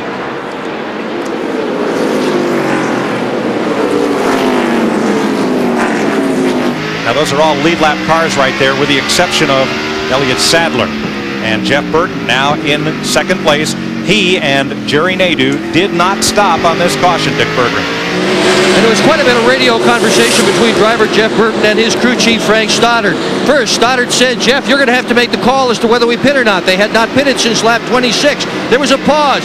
Burton said, Frank, I think you better make this call. And there was a call, and it just went back and forth and back and forth. And finally, Stoddard made the decision. Stay out. They want track position. However, they are worried about fuel. They don't want to run out. To Steve Byrnes. Well, Dick, when Dale Earnhardt Jr. pitted on lap 73, he got a bit of a scare when he took off after getting his service. When he accelerated, he was afraid he had hurt the drive shaft, but so far, so good. He told his crew just a few moments ago he's going to try to conserve the brakes. He got him heated up when he was battling with Jeff Gordon earlier. To Matt Yocum. Steve, under that caution, Ricky Craven, who currently rides in the ninth position, as his spotter, the big round mound of sound fat boy, Donnie Ebling, how the right side of his car looked because he had some close calls under that last run. Fat boy says, it looks awesome. He gave him a little Alabama slammy, whatever that means. He said, but the car looks good. Then he said, hey, you had a real close call there with a two car. Did you see it? He goes, no. When things get that close, I try not to look. Thanks, Matt. You're riding with Bobby Hamilton behind Ricky Craven. And as I watch Bobby Hamilton, we've got a battle with Dale Jarrett, John Andretti, and Stacy Compton. This is a battle back for 23rd. But the two tires, I don't know, Darrell. I, I, believe I don't want to try that no more. That, it's it, it, got us a little track position, but I think it's it's not paying off here as we get into a run. No, and Larry, you know, you can go the well of times, but that can't be your game plan. You got to think four tires, take two. On. I, I always want to take four under. If I have to pit under green, I can get by with getting two. Tony Stewart, he's pulled up on the back bumper of our leader, Jerry Nadeau. And remember, the difference is about 30 laps in tires. Tony Stewart pitted on lap 72. Jerry Nadeau pitted about lap 50. So that this is beginning to weigh out the difference in fresher tires right here. But I still think that's a great move Tony Furr, Jerry Nadeau, and the 25 car made. If it's going to give you the lead, if it puts you out front like the 25 is, yeah, that's worth the gamble. But if it's just going to pass up two or three cars and put you back in the middle of the pack, I wouldn't do Not that. worth it. And the last time we were on a short track, well, here goes Stewart for the lead. Down to the inside on Nadeau. And scoots off the corner in first place. Boy, his car, Darrell, it just rolls through the middle. Right I mean, that's where you, that's where, we talk about where you beat people. If your car will roll through the middle and stay around the bottom, you can turn that wheel and pick that throttle up, you can go here. Yeah, that's the that's what it does. It allows you to do. You get back to the gas so much quicker. You exit the corner so much faster than the guy in front of you. And we talked about this early. Dale Earnhardt Jr. is quite a bit faster than Mike Skinner in the four car, but Mike Skinner's protecting that bottom, and Dale Earnhardt Jr. can't get by him. I wouldn't keep doing that if I was. Uh, Well, Jerry Nadeau, he's way high down in three and four. I'm sorry, Darrell. That's okay. Looked like he overdrove the entrance, possibly. And that's what happens. You lose a little grip, and uh, you drive down in there, and all of a sudden you, it won't stick. Now they have him trapped up on the high side. These cars have such huge brakes on them, Larry, as you well know, that you can you can over brake the car, lock up the right front tire, or almost lock it up, and the car will just take off with you. Now, in Mike Skinner's defense, he is the fourth place car. He can't just move over for Dale Jr. He's that's a battle for position. No, because if he moves over and lets Dale Earnhardt Jr. by, he's going to go from about fourth to about 15th back there. They're lined up behind him. Well, I don't expect Mike Skinner's going to move over and let anybody go by if he was five laps down, because that's just a not good, his style. This is a good run for this group. Well, just think about Bobby Hamilton in this four car here through the years. Always ran pretty good here. Actually won here. We're looking out the back of Matt Kenseth's car, and these guys came in here second in points, and I know they were nervous about where they qualified. 26. It's not that you can't get to the front in a 500-lap race, but it's getting in trouble back there starting 26th. And they were nervous about that. All right, Darrell, if you're Dale Earnhardt Jr., right behind that yellow Chevrolet of Mike Skinner, how do you keep from getting impatient? Well, it's very difficult to do it. And you'll start off pleading with your spotter to go plead to the other guy's spotter to give me a break. And when the guy goes and does that and he comes back and says they said he's racing for fourth and get by him the best way you can, that opens the door for a lot of things. Like Jeff Gordon trying to get by on the inside, didn't have quite enough room. And that's because Dale Jr.'s being held up by the four car. The 24 car is now up on the back of the eight car, and here comes 32. Everybody's got to go. Ricky Craven starting to work up in that second groove. He caught him. He's like, I'm not going to get under him. The only thing's below him is grass. And Let me work the high side a little And you bit. know, he's been doing really well up on that outside. I mean, at the start of the race, that's how he passed so many cars, and his car really hooks up good up high. And boy, that could really pay off for you at the end of the day. Or at the beginning of the day. Or in the middle of the day. It, I think it'd pay off all day. Junior inside Skinner, and they touch. Going into turn one. And see, these cars have so much gear and so much power. When you try to jump in the throttle to get it, take advantage of him sliding up a little bit, you just get your car sideways. Junior's, Junior's best end of the racetrack is down here at the south end in turns one and two. And they are different. Turns one and two is bumpy. You go in there low, the car chatters right through there, bop, bop, bop, on that concrete. Down here in three and four, it's a little smoother, but it's loose off.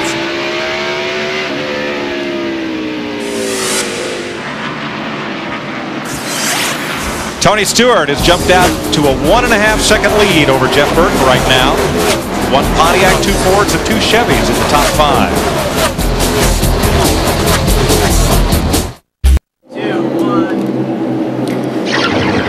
Welcome back to the Virginia 500 presented by Yamaha. We're live at Martinsville Speedway. Virginia is for lovers, and if you love short track racing, well, you're in the right spot. The oldest and shortest track of the Hollywood Hotel with Jeff Hammond observing with Tony Stewart leading at the moment. Jeff Gordon came in on the pole, still looking for his first victory of the year, and currently running fifth. Well, right now, Chris, I mean, he got kind of caught up after that first round of pit stops and wound up back in traffic. And I think he's just really being smart. It's a long race. You got to save your brakes. Got to keep the nose on the car. I think he's in a position where he kind of likes what he sees. And Jeff Burton, a part of Roush Racing, he's one of the guys who haven't won so far this year. No, but they've, they've been looking pretty good at different times. And this is a racetrack that they've run well at before. Jeff at one time was very, very dominant in places like Loudon. So to find himself running well at Martinsville doesn't surprise me at all. Again, he and Frank Stoddard, if they get their pit strategy right, they again could win today. Currently running second. We've had four leaders, four different lead changes, and four cautions. Let's go back upstairs now. Mike Joy, Larry McReynolds, and Darrell Waltrip. Mike, one thing I'm noticing, Larry, is there's a second, you know, every week we talk about a second groove. Normally, Martinsville doesn't have a good second groove, outside groove, but there's a lot of cars making good passes and passing a lot of cars by going up in the outside groove and getting by them. Don't see that a lot here, but I think that may be, Larry, the truck race yesterday, that bottom's getting a lot of rubber on it, might be getting a little slick. You know, a guy that qualified pretty good, Rusty Wallace, brand new race car here. He's sitting back here in 16th position. He's kind of caught up in traffic right now. It's Bobby Labonte in 18, Kurt Busch in the 97. All right, I want to show you, the. this is the right rear suspension. We're looking at the gear right here. And what this is right here, it's a rear end pump. That's what's pumping the rear end fluid to cool it. Now you see this is a trailing arm right here, and what they have, they have this brake duct on the trailing arm. The hose runs up here to cool the right rear brake. This is probably about a 250, 275 pound rear spring. Get about three and a half, four inches of travel down in the corner. A lot of movement back there, but I think that also shows you how bumpy this place is. I mean, all the way through this concrete, you talked about it earlier, Darrell, it's, it's not bumps as much as it's chatter. And the more the race goes on, the rubber builds up down there, and that becomes even more of an issue, just pop, pop, pop, pop, pop, all the way through the corner. If you watch that spring, he's just coming out in uh, three and four. It's smoother, but when he gets down here to turns one and two, watch this thing do that bop, bop, bop, bop we're talking about. Right through, see it do all that chatter right there? That's where you have real tough time hooking the thing up. On the exit of the corner. Exit of the corner. Now this will be on the right front right here. This is on the 55 car, Bobby Hamilton. Look at the brake rotor glowing, right in there. I mean, it, it glows all the way the time he's on it, backs off the brake, puts the throttle back up. You see that this will be going back down in the corner. See how red it gets? That's happening a thousand times a race, Jeff. Yes, Larry. We, we talked about it a little bit earlier in our pre-race. You've got to really concentrate on keeping the brakes cool. You can see how hot they get. Temperatures sometimes exceed almost 1,400 degrees. So if you have a problem with cooling your brakes, it doesn't take very long for them to fail. Boil the fluid, and you know what happens next, Darrell? You'll be pumping that bad boy going down in the corner. That's why you got to have really good brake coolers, and that's why riding along by yourself as much as you can with that front end wide open, getting plenty of fresh air, will pay off at the end of the day. Tony Stewart, he's pulled out to almost a three-second lead, but he's just about getting into some lap traffic. Mike Skinner up there in the four car, Dale Earnhardt Jr. and eight. This is a battle for second. Again, three seconds behind leader Tony Stewart. And you watch how quickly that lead dissipates when he runs up into this lap traffic because they're not going to move over and just let him go. There's the interval on Fox Tracks, and there's Elliott Sadler going around off of turn four. That is going to be a break for some drivers. No caution. No, caution. He, he, he got going. No caution. Okay, that's no break for anybody. no. It's a tough break for Jeff Green, who is the next car right in front of Tony Stewart. Yeah, Tony had him passed, and when the caution came out, or they thought it was going to, he slowed down, let Jeff go back by, but back to business. Elliott Sadler has always struggled here in a Winston Cup car. I don't believe he's ever qualified for a race on time That at twen- this speedway. That 21 car, other than when Pearson won here back in the 70s or 60s, wherever it was, it's about the only time they've ever run good here. Show you what happened to Sadler way back coming around that corner. And there he goes. Got a little help from Kurt Busch in the 97 car. Well, again, it, it's slick off that corner. That new patch right there causes your car to be a little loose, and then you get a little help from the rear, one of your friends, and around you Yeah, go. I mean, these cars running around like a, a freight train. You jump back in the throttle. He jumps back in the throttle. Your car gets a little loose. You have to come out. What's he going to do? He's going to stay in the throttle. Little tap. It's a love thing. Martinsville love. thing. That's right. It's a love. Where's the love? This is about to look not lovely right here. See, he had a spin there earlier. He figured the thing out now. I can spin her around and keep going. The Wood brothers, number 21 won here in 1968 with Cale Yarborough and 1973 with David Pearson. Finally, after about 35 or 40 laps, Dale Earnhardt Jr. gets Mike Skinner just a little out of shape, takes second place, opened the door for Jeff Gordon and Ricky Craven in the 32 car. Mike will probably go all the way from second back to fifth. Now, Darrell, on the force meter, how much difference is there between bump 'em and dump 'em? Well, yeah, you can tell the difference. You know, the two guys that know what's going on. You start to get in the throttle, and all of a sudden you got to lift up a little bit, and you get hit from the rear. You can't be mad at the guy behind you. But if you're doing a good job, you're driving off the corner, all of a sudden somebody just rams into you. That'll get your attention and make you very unhappy. And you'll be like Jimmy Spencer. You, You probably never won't forget. forget. Earnhardt Jr. now the second place car with Jeff Gordon, the pole sitter, third. There is the interval on Fox Tracks to race leader Tony Stewart. And one of the tough things for being at the back of the field, at the back of the pack, is when somebody like Tony gets it going, gets it, everything working, and he marches through the field like he is. He's not being held up by slow cars, catching them and passing them. That means you're going to be in trouble in a hurry. But Darrell, since that wreck at Darlington, this is the second short track we've run. Is this a really tough place for Tony? He's had a couple of weeks to try to heal up, but Oh, what about it? This joint is physically demanding. You got to use your legs, you got to use your arms. Uh, there's a even though it's a small racetrack, it's very physically demanding. You're always fighting the steering wheel. You think about qualifying, Mike, how everybody's hands were just all over the place. You do that for uh, 500 laps. But Stewart is the leader now by four seconds over Dale Earnhardt Jr. and Robby Gordon. Ricky Craven, and Mike Skinner, the top five, then Terry Labonte and Bobby Hamilton. Welcome back to Martinsville. 160 laps complete, where the only change in the top 10 is Ricky Rudd moving up to 10th, displacing Jeff Burton. Andy Hillenberg and Casey Atwood, the only cars in the garage at 161 laps. We come up on one-third distance. Jerry Nadeau was leading at the last restart. He's fallen back to 13th. Make that 14th now as Bobby Labonte moves past. And I think the big problem with Jerry Nadeau, he's getting up there about 130, 140 laps on his tires. That's when it really starts sliding around. And he's probably only another 30 or so laps away from having to come to pit road because he's going to need fuel and tires. Yeah, that gamble. I mean, you know, all those early cautions. Sometimes we get into a play into a situation where we have a lot of long green laps, and uh, boy, that can bite you. Johnny Benson fighting hard to stay on the lead lap against Tony Stewart. Those guys, uh, Hermie Sadler and uh, Johnny Benson, both have held Tony up for quite a while here, but I don't think it's enough to make a lot of difference. Tony's car is working so good, he can just, if he's patient, he just finally works his way right around them. And you know what will happen in Martinsville? Yeah, it's Tony Stewart, the leader, catches traffic. That helps Jeff Gordon, the 24 Trouble, car. turn two, Earnhardt Jr. Robby Gordon. No caution. if he can get the pit road, I doubt he'll be able to get the pit road this time. Looks like he has a flat right front. He will not get the pit road. Better watch out hauling off in the third turn there. She got a right front down. He's going to lose a lot of laps. Be smooth, bud. It's Tim Overby, a spotter, trying to find him a hole where he can get to the bottom. He's about a half a lap from having to get back to try to get pit road again. And, the that leader's day- coming. Tough day for Richard Childress Racing. Driver Kevin Harvick parked by NASCAR, not allowed to compete. Jeff Green, not very competitive. And now Robby Gordon with a cut tire. And that could be a product of a cut tire, or it could be the heat, the brake heat, causing that right front tire to blow out.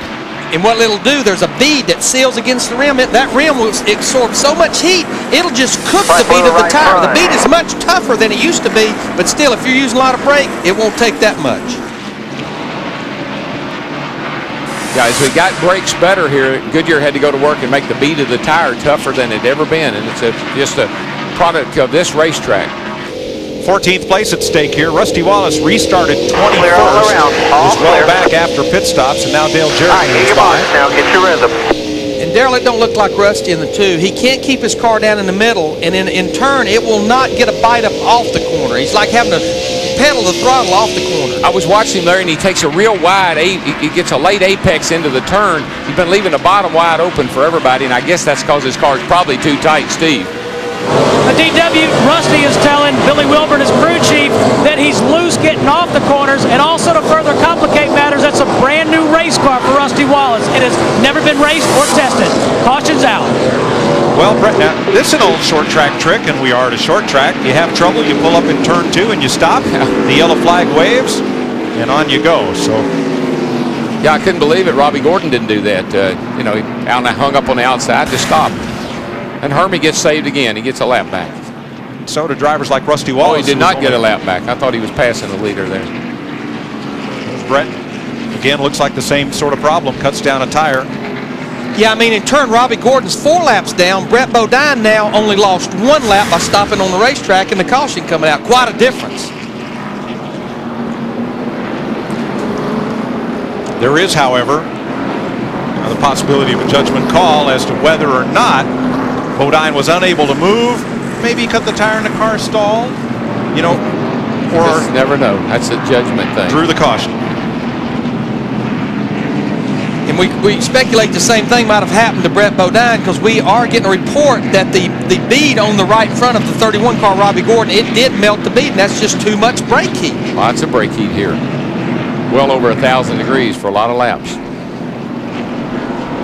We should see about all the leaders to pit road because most of them's been out there for almost 100 laps. So everybody should come to pit road, four tires, adjustments, full up with fuel. Now this will put Hermie Sadler, Johnny Benson on the tail end of the lead lap should they choose to stay out. Here come the leaders and you'll follow Fox tracks to find their pit stalls. Matt? Mike, on the previous pit stop, Tony Stewart made a track bar adjustment and an air pressure adjustment. This stop, Greg Zipadelli's crew chief said, what do you want this time, Smokey? He said, ah, I don't know, four tires? It's all right, that's what you get. Steve Byrnes? Well, Matt, Jeff Gordon's only adjustment a half pound out of the right rear tire. Four tire change for Jeff Gordon. Dale Earnhardt Jr. in the eight car, one pound out of both rear tires. Gordon is out.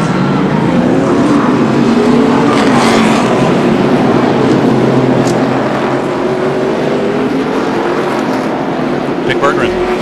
Uh, Jeff Burton just came in. He took four tires, took around a wedge in the left rear. They really badly needed that pit stop, Mike. They figured they could only go about 20 more laps on the fuel that they had in the car.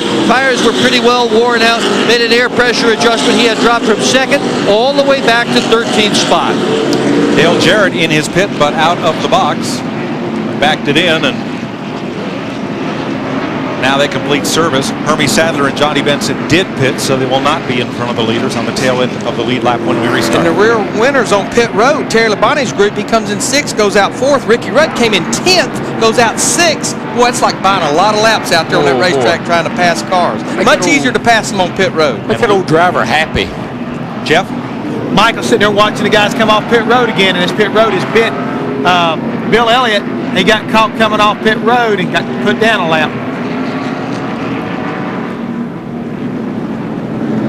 So Elliott goes a lap down. Tony Stewart retains the lead here in Martinsville. Jeff Gordon, Dale Earnhardt Jr., Terry Labonte, and Mike Skinner Clear, clear, clear, clear, clear. You gotta be road fast on exciting. You gotta be fast on pit road and not just making your pit stop. As Stacy Compton pulls away.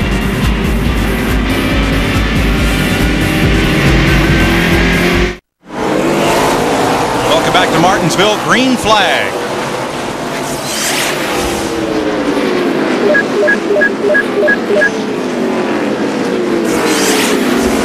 Tony Stewart, Jeff Gordon, Dale Earnhardt Jr., Terry Labonte, Mike Skinner, then Ricky Rudd. Ricky Craven, Bobby Hamilton, Ryan Newman, Matt Kenseth, the top 10. We're at lap 180. This is the first time since about lap 25. Everybody is pretty much on equal tires now. Pretty much all the leaders pitting that time since the last caution was back on lap 100.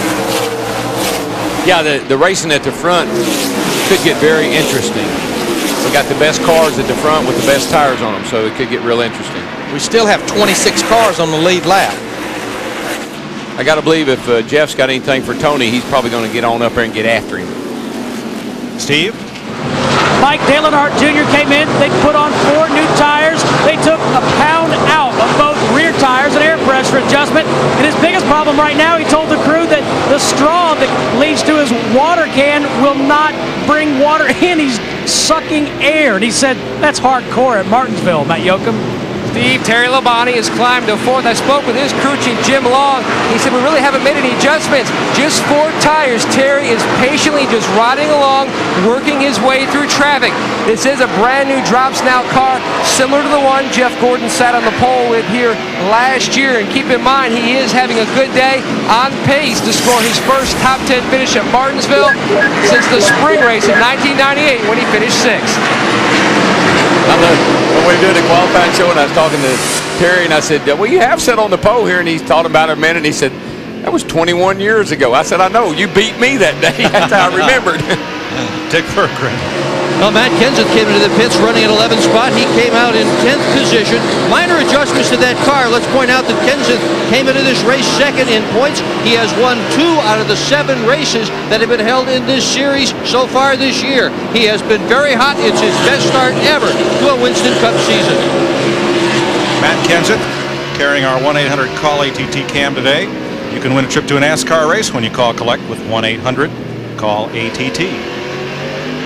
He doesn't make a note that Casey Atwood, after being in the garage for 109 laps, he's back out on the racetrack. So 185 laps into this race, 42 of the 43 cars that started are out there running. Andy Hillenberg in the 71, the only car that's out. Now, let me tell you who's about to get aggressive, and that's the car with the big bullseye on the hood, Jimmy Spencer. Spencer got caught a lap down when he did not beat the stop sign paddle coming out of pit road.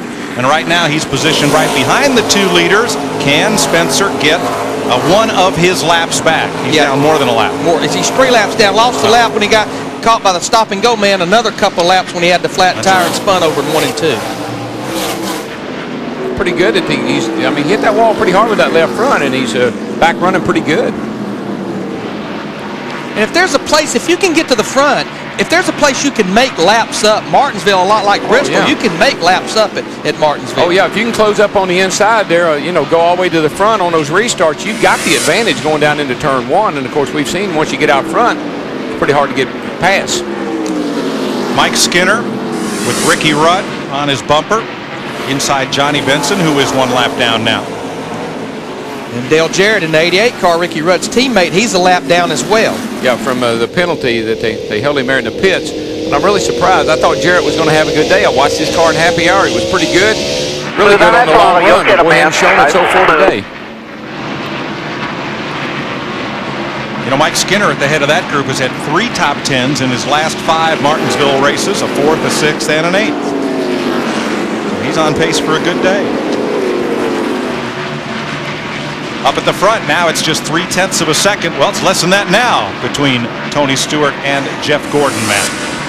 Well, guys, you heard the report on the 31 car that Robbie Gordon had melted a bead. The, the bead between the tire and the wheel had gotten so hot that it actually melted. You can see here on the wheel, this is Bobby Hamilton's right front tire that they're going to put on the next stop. They put the heat reflective tape just to try to help out any way possible.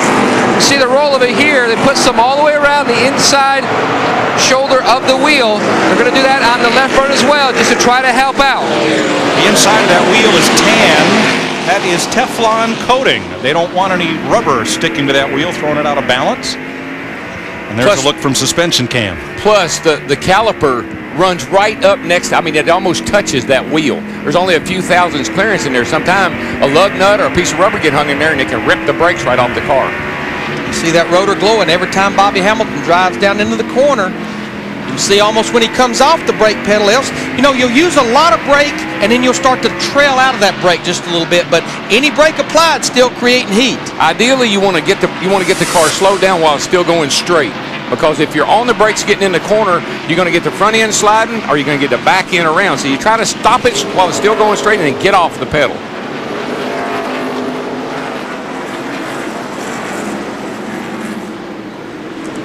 Six laps. We'll be at 40% distance. Tony Stewart out front. We move from NASCAR's slowest track to the fastest speedway on earth, Talladega, Talladega, Alabama next weekend. The International Motorsports Hall of Fame will be holding its induction next week, its annual induction, and then we'll see Winston Cup and Busch Racing at Talladega on FX. There's the man right there that won this race a year ago, Bobby Hamilton. Uh, he's sitting here right now in eighth place. I think he figured out maybe two tires wasn't the way to go. Took on four tires on that last stop. Here again, we're looking at the right front of Bobby Hamilton Jr.'s. This is actually Bobby Hamilton Sr.'s car. He did a Busch race. Did a Busch yesterday. race yesterday. Bobby Hamilton Jr. That's ran right. well there. he did. Had a good day. Him and old Fred. You know what it says on Bobby Hamilton Jr.'s birth certificate? Charles Robert Hamilton the fourth. The fourth. But for our purposes, he's Bobby Jr. This fellow is Bobby the third, but it's Bobby Sr. as far as NASCAR fans know. Close enough. Matt Yocum. Well, you guys are talking a lot about brakes and how hot they can get. A lot of teams battle that heat in many ways. When you talk to Jeff Gordon's crew chief Robbie Loomis, they actually have three blowers on each front tire. They've got one that blows on the bead, one that blows on the inside shoulder, so that way maybe if they're running are a little more camber, it does cool the temperature. In fact, their infrared sensor during testing showed 15 degrees cooler when they had that blower blowing on that inside shoulder of the right front tire. And what these blowers are, if you have a that has an inboard motor, you have to cut a blower on to blow the fumes out of the engine compartment. All those blowers are, and you can run three per wheel. A lot of times they'll run one on each rear wheel. That's even the blowers they'll use to, to cool the driver as well. We've had as many as eight, nine, ten blowers on our car before. and they pull a lot of amps. And uh, a lot of times it's very uh, it's very hard on the battery, obviously, and on the whole ignition, on the whole system, uh, the alternator and the battery. You can have problems with all those fans on this short track like this. You cure one problem and hope you don't cause another. Tony Stewart's lead over Jeff Gordon, just a couple of car lengths. Boys. Welcome back to the Virginia 500 presented by Yamaha. FX welcoming you live to Martinsville, Virginia. We've got a good one, still over 290 laps to go here, but Tony Stewart leading Jeff Gordon and 111 times Gordon and Stewart have raced together in Winston Cup. Head to head, Jeff Gordon has finished ahead of Tony Stewart 57 times. And uh, 54 times, uh, Tony Stewart has finished ahead of Jeff Gordon. Is shaping up like this could be an exciting finish. Definitely so. These guys are here. I mean, this really shows what kind of uh, championship caliber racing we've got going on here today, Chris. Somebody's got problems. That's the coming down 43 this car, the 43 blown car. motor. Yep. All right, you like talked Andretti. in the pre-race show. You talked about engines. You, you would think brakes would be a problem here, but certainly losing engines. Oh, we got trouble right there off of that corner. Also, and leaders just slide by. Looked like Frank Kimmel got around Robby Gordon. That's Robby Gordon in the 31. There's Kimmel. So this would uh, would be the fifth caution. And let's go back upstairs to sixth caution to Mike Joy, Larry McReynolds, and Darrell Waltrip. Well, Darrell, there's a huge plume of smoke from John Andretti's car right in the middle of turn three and four. Yeah, I think there's fluid down there. I think I can see some black. Oh, Gordon's got into something. Got a left front down. You, You can see, the a lot of damage on the fender. The whole left side, up actually. And just pop the left front. Ten four. All right, get the, the right side's okay, right? Left side's only this time. Left side's only. Get the left side's on it only. Okay, guys? Get the left side clear. You got me, Cook? But now, Larry, I'm a little surprised that they're calling for left sides only because he pitted before the pits were open. Yeah, but they, in, the back ca- in case right? they have to do work on that left front, they want to get the tires changed and make sure they don't get trapped in the pits by the like some of these other guys have done. Steve Byrnes, is that what they're doing? Good point. Yeah, Larry, Jeff just said on the radio that Jimmy Spencer got into the left side of him, so they're going to change left side tires and pull the sheet metal away so they have enough clearance so there is not a rub. They're beating at the left front with a hammer. The rear tire is on. Now they'll put the front left front uh, left front tire on. The tire looks like it has plenty of clearance. They're making sure, and they're going to put the hammer underneath there, pull out the sheet metal some more. Now, Jimmy Spencer was trying to get one of his laps as the caution flag came out. And uh, guess what? Contact. He did. Now, there's John Andretti. Thinking there's some, there, got to be, see, he's wobbling a little bit through there. There's that fluid's coming out. Now, there's Jeff Gordon and Tony Stewart. The leaders.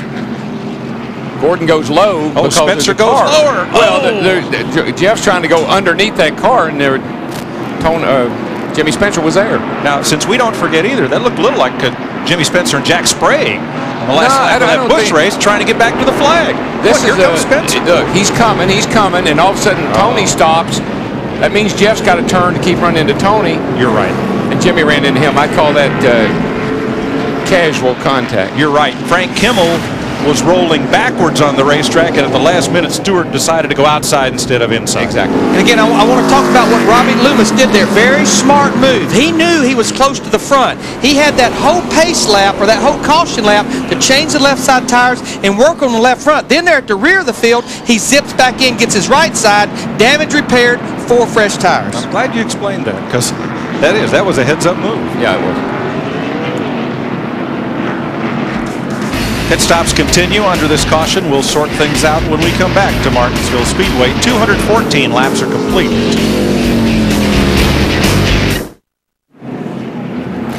Welcome back live to Martinsville, the Virginia 500, presented by Yamaha under our sixth caution. Tony Stewart still your leader, as you see, after 218 laps of the 500 now. Dale Earnhardt Jr. has moved up to second. Rusty Wallace, who has won here six times, currently running 10th, will return to live action in just a moment. Don't go away. Welcome back live to Martinsville, the Hollywood Hotel. We are at trackside. Tony Stewart has led the most laps thus far. The drivers leading the most laps, though, have failed to win eight of the last 10 races. But we heard earlier Larry and DW talking about uh, Tony's shocks and uh, Doctor Who. Yeah, Ronnie Crooks is the guy I think right now who has the magic for the shocks around here. This racetrack very bumpy, need a lot of grip. That's him right there. We We're seeing look. right there, the gentleman. Uh, they say he has magic in those hands of his as far as figuring out what it takes to make a car get around a racetrack. And today he's showing the way. Now, Tony Stewart has won from the pole here before. He once suggested filling the uh, infield with water at this track and turning it into a bass pond. So he's felt both extremes as we get ready to go green. You have to like his position with Dale Earnhardt Jr. running second and Jeff Gordon now beat up in this. Exactly. I think you see right there. Last year's winner, uh, Dale Jarrett, on the inside of Tony Stewart as we get ready to come back here and take the green. Green, green, green. Now Jeff Gordon will restart back at 24th position because he pitted before pit road had been open. Had to go with the tail end of the longest line. Which is way back. Drive off in that first turn after a caution. Got a lot of debris on the tires. Car doesn't hook up real good. Tony slid up, opened the bottom up for Dale Jr., but as you can see, off turn four, just a little bit loose. Can't quite put it down there. Now Dale Jarrett is looking to get a lap back. He is one lap down, third car in line. In the fourth Gotta- car gotta- line, Bill Elliott, 99 nine- car. 99 cars down in the grass. But he's back out, and I think he's okay. No caution. I did no caution, no caution. Cut into the rubber. But Bill Elliott in the nine car, remember, he got trapped by the uh, stop and go paddle man. He's a lap down as well.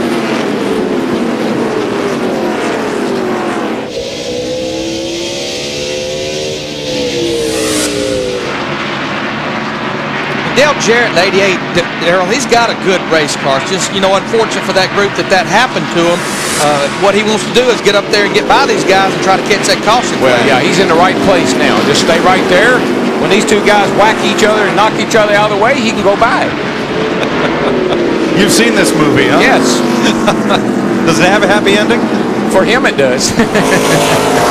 He's trying to stay glued to Dale Earnhardt Jr. because if Dale Earnhardt Jr. ever sticks that right front of that left rear of Tony Stewart, Dale Jarrett wants to follow him through.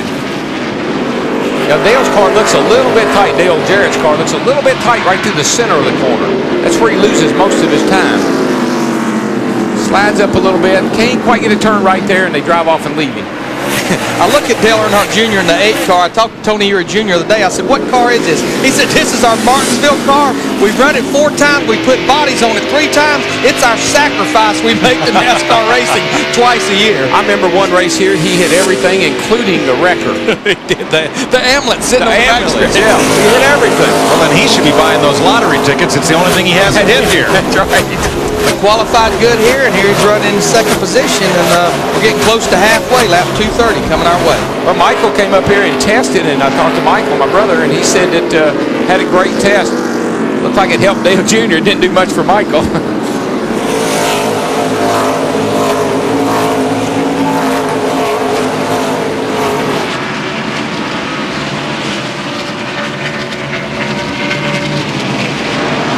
You know, we talked about Matt Kenseth, who came in here second to points, but what about our points leader, Sterling Marlin, qualified way back, 29th? He's up to 13th position, but what I have to believe that's going on with Sterling Marlin, I talked to him and Tony Glover, Lee McCall this morning. Speaking of Sterling Marlin, he's all the way up the top of the racetrack. Their car was a little bit loose yesterday, and you have to believe with these hot temperatures today, it's a lot looser. what happened to the 14 and the 40? They went down here in the corner, and the 40 whacked the 14 in the rear end, got him sideways. They went down the back. 40 ra- leaned into the 14, and then they got down to turn three. Stacy just took him up the hill. Watch this. Here they go. Whacked him right there. He said, hey, buddy, I didn't appreciate that. Now watch what Stacy does. You didn't like that? See how you like this. Sterling was a busy man in there.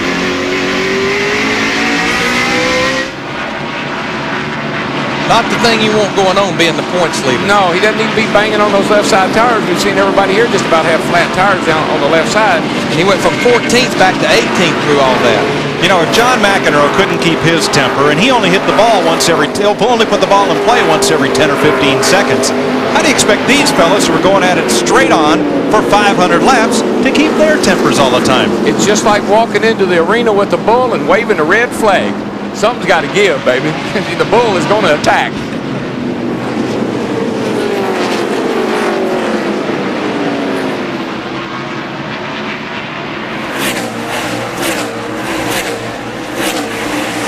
Two hundred thirty-five laps complete at Martinsville Speedway in Virginia. Tony Stewart leading Dale Earnhardt Jr. and Terry Labonte has climbed to third.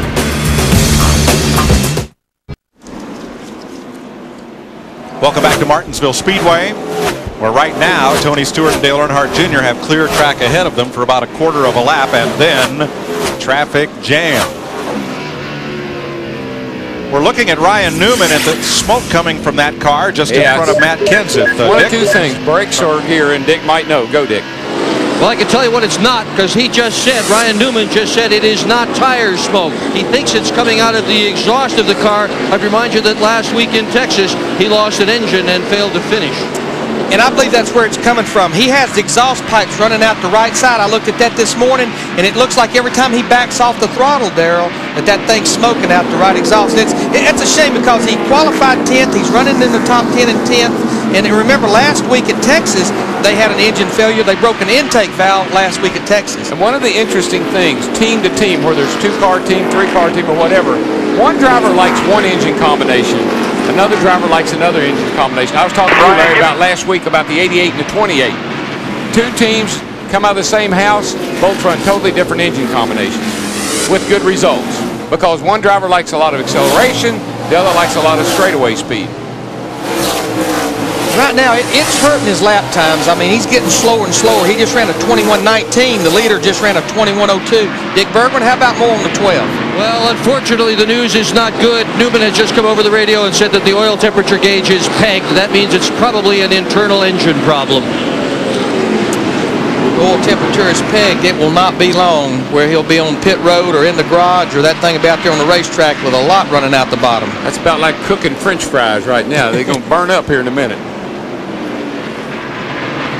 But that was a good run from him. Came up here and tested, brand new race car. Never had even been to Martinsville in anything. Meanwhile, Tony Stewart has opened up a lead now of more than a second on Dale Earnhardt Jr. Pole sitter Jeff Gordon started uh, at the back end of the field. And hadn't made a lot of progress. No. Not a lot. But in about five, six, seven laps, Tony Stewart's going to catch the whole back half of the field. So uh, that's what Dale Earnhardt Jr. will be waiting on. They're pretty much lined up about all the way around this racetrack right now. Look like a conveyor belt. Yeah, or, or a, a Ferris wheel or something. round and around we go. They wound them up and they just keep on going.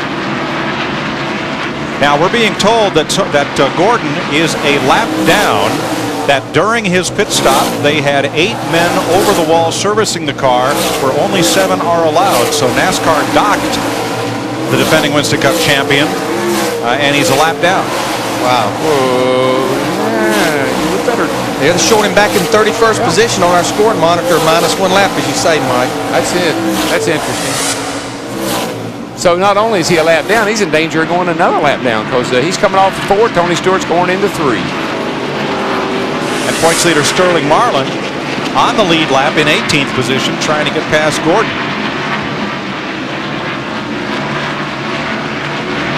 Good thing these cards all have different paint jobs because after about halfway here, you can't read the numbers.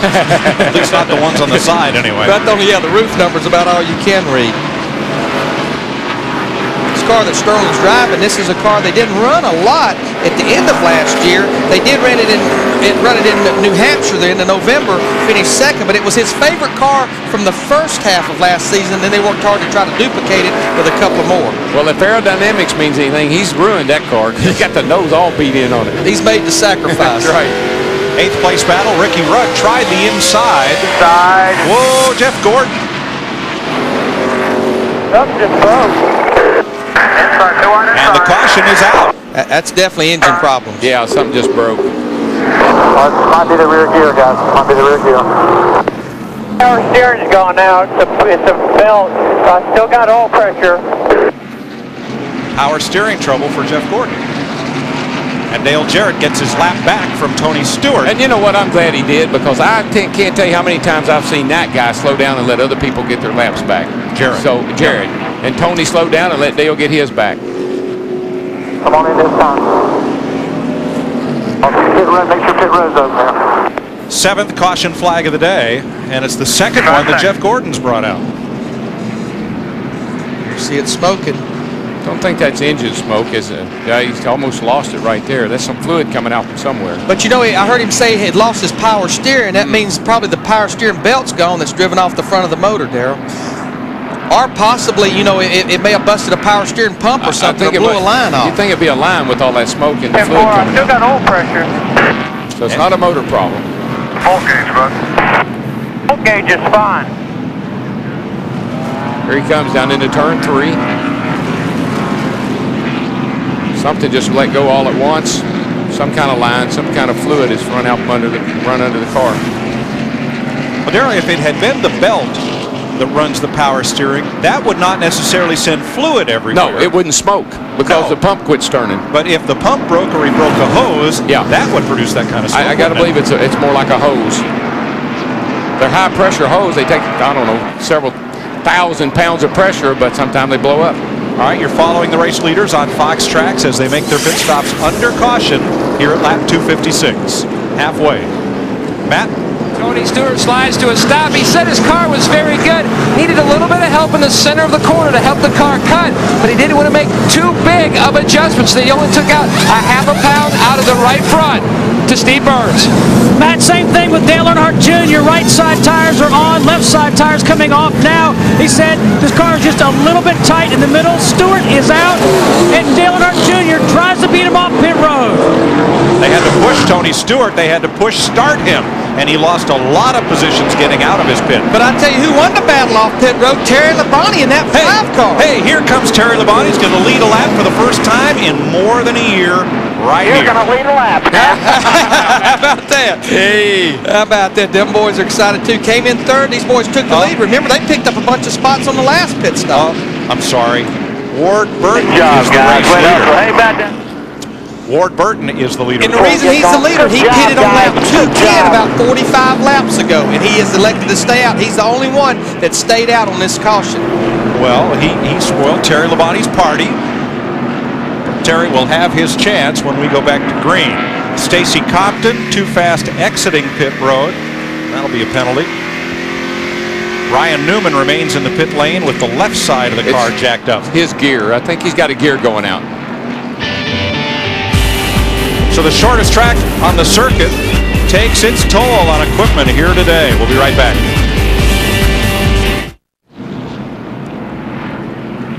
Ward Burton is our leader. Terry Labonte won the race off pit road, and he is second. Dale Earnhardt Jr., Ricky Craven, Ricky Rudd. Problems for Tony Stewart exiting his pit have put him back in 11th place as they get lined up and the track gets cleaned up.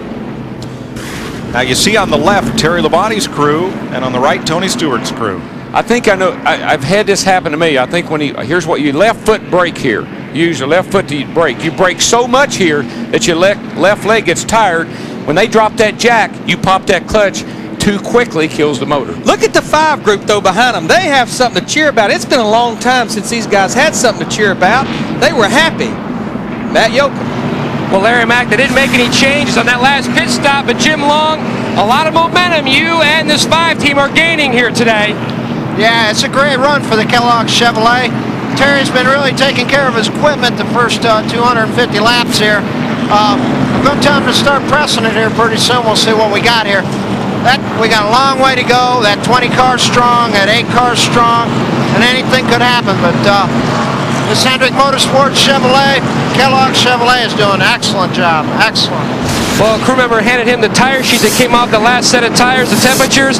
He looked at it and said, that is perfect, just perfect, to Dick Berggren. Ryan Newman is right now in the garage area. The first clue as to what really went wrong with his engine happened when Trent, Ch- Trent Carey, the rear tire carrier, and Matt McSwain, the rear tire changer, both slipped and fell on the last pit stop. They slipped and fell in oil. The oil has been pumped out of this engine. Newman said he had to shut it off when he got down to just 10 points. Interestingly, Rusty Wallace came on the radio and wanted to know what's going on. They are teammates. Rusty obviously worried about his engine if this one is cooked, and this one is cooked. There's Wallace, who is presently in eighth place. 24 cars on the lead lap here at Martinsville Speedway, and Ward Burton is our leader.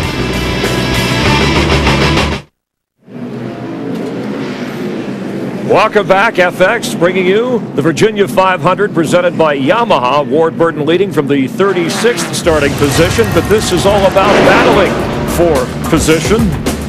The phrase, I need my space, applies here. It's Martinsville Madness. Elliott Sadler taking a spin. Kenny Wallace in for Kevin Harvick, having some problems. Five leaders, five lead changes, and seven cautions. More recently, Jeff Gordon, who started this race on the pole, experiencing some problems. And let's get an update and head down to Steve Byrnes. Steve?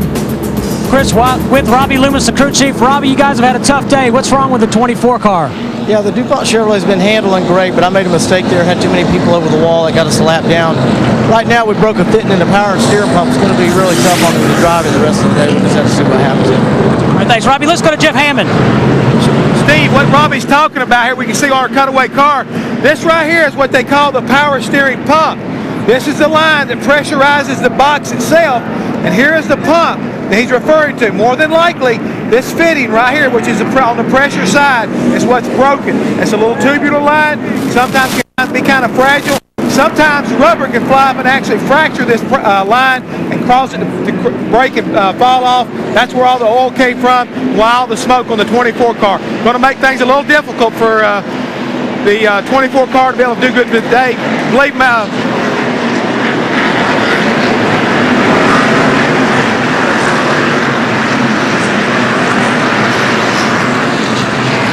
Chris Woodward is the engine tuner for Tony Stewart. And Woody, what happened on that pit stop? Well, he stalled it coming in, and uh, when he went to start, the uh, starter laid down on him, so it wouldn't even turn over, so we had to push it.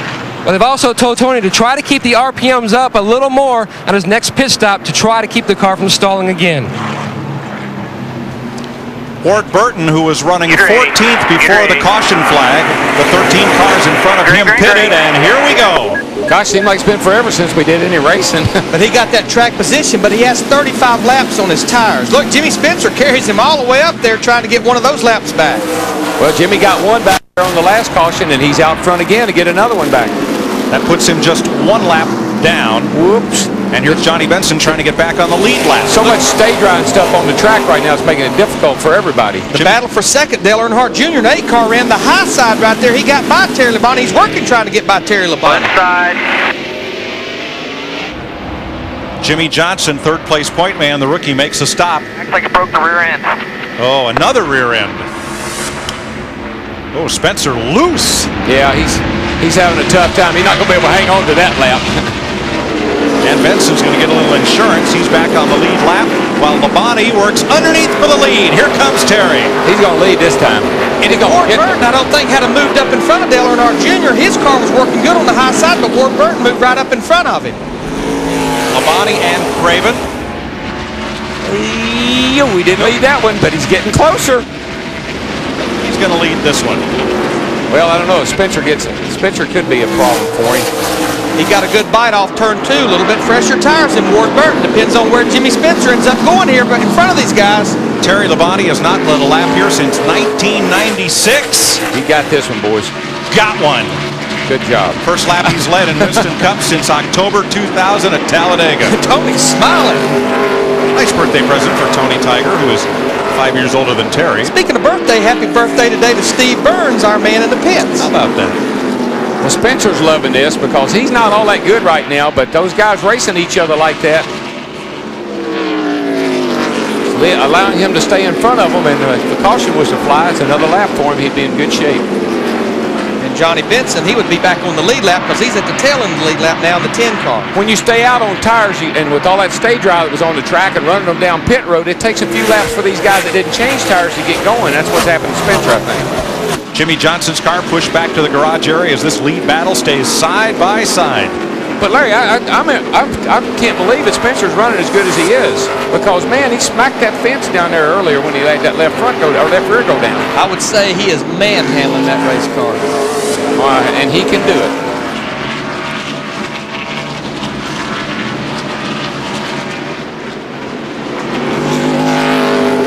I'm just I'm so impressed with the racetrack here. It has those two grooves. I mean, Ward Burton just hanging his own up there on the older tires in the second groove. But right now, the biggest problem these two have, guys have, is Ricky Craven in that 32 car. He is yeah, right you know, with them now. You know who's smiling is track president Clay Campbell.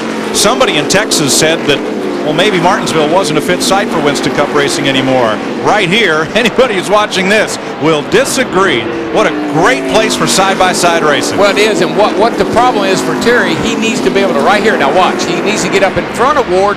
Now he'll drive off and leave him because he can use the whole racetrack. When you're pinched down like that by the car on the outside, can't get back in the throttle quick enough. Ward's going to pay a big price here because here comes Ricky Craven. Dale Jr.'s taking a look. For more on Terry Labonte, Dick Berggren. Well, there's really eight announcers on this broadcast. At least that's what folks are hearing at home. But I'm listening to brother Bobby Labonte, and there's actually nine because a couple of moments ago he came on his radio and said, "Go, Terry, go!"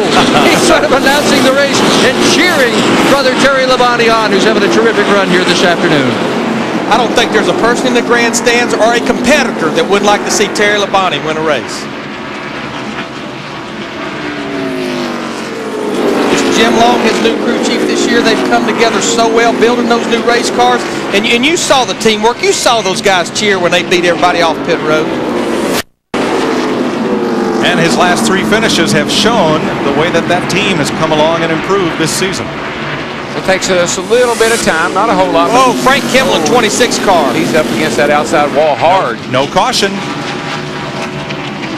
Just bounced off, kept going. Like he just, these cars, you drive them in real hard into the corner sometime with all that brake on there, you lock up that right front and slide up into the fence.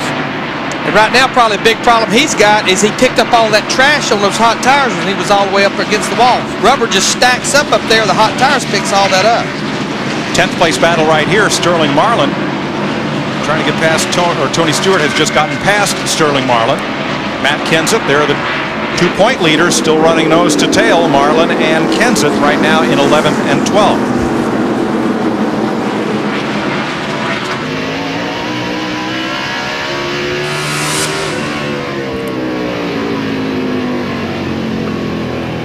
Kenseth's kind of doing what a good point producer would do, staying out of trouble, doesn't have his car all beat up, and hanging with the guy that's ahead of him in the points. And unlike so many racetracks we go to, you listen to Matt Kenseth, how early on the straightaway he rolls out of that throttle.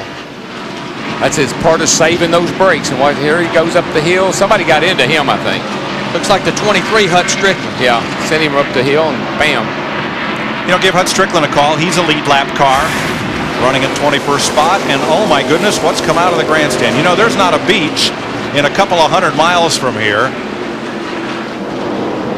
This ain't no beach party, I can tell you. No. Now, I don't know who thought that, but that beach ball stays out there long, it's going to have a short life. Yeah, it's in turn two. It's about to become Flat Stanley. what was, what was that? What was that ball that uh, Dale Jr. had in his car with him for a while?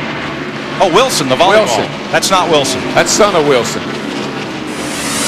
Ward Burton, that 22 car, I think he's really paying the price of those older tires. I know we've had cars out there, hey, we got a battle for the lead, guys. Going off into turn three. Ricky, Craven, Dale Earnhardt Jr. trying to stay on that rear bumper. They got Terry Labonte kicked up to the high side.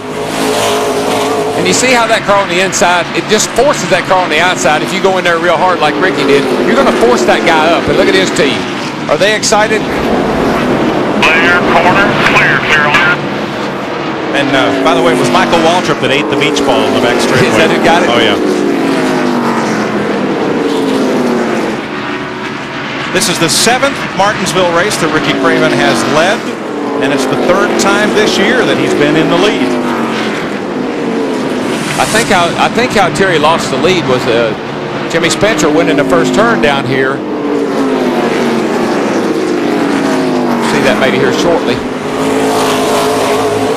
See if the lead changes first as Earnhardt Jr. goes after Craven.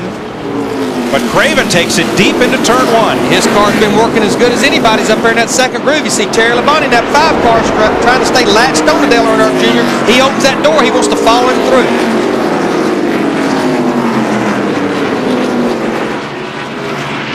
Well, we saw the same thing a while ago with Terry Labonte and Ward Burton. That second groove's working just as good as that bottom groove. Maybe just a little bit of contact there. And we've documented it throughout the day. Ricky Craven's car is set up to run the high groove.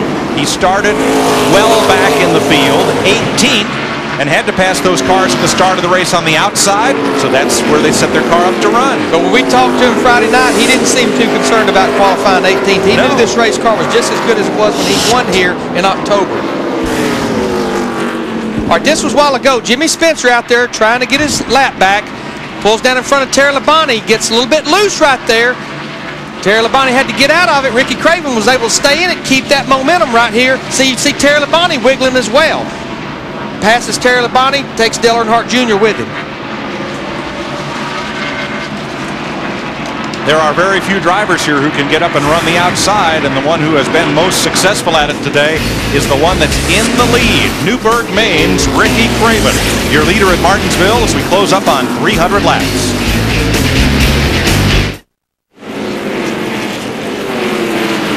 It's been exciting here at Martinsville, Virginia. There's been some mechanical fatigue, some sheet metal fatigue.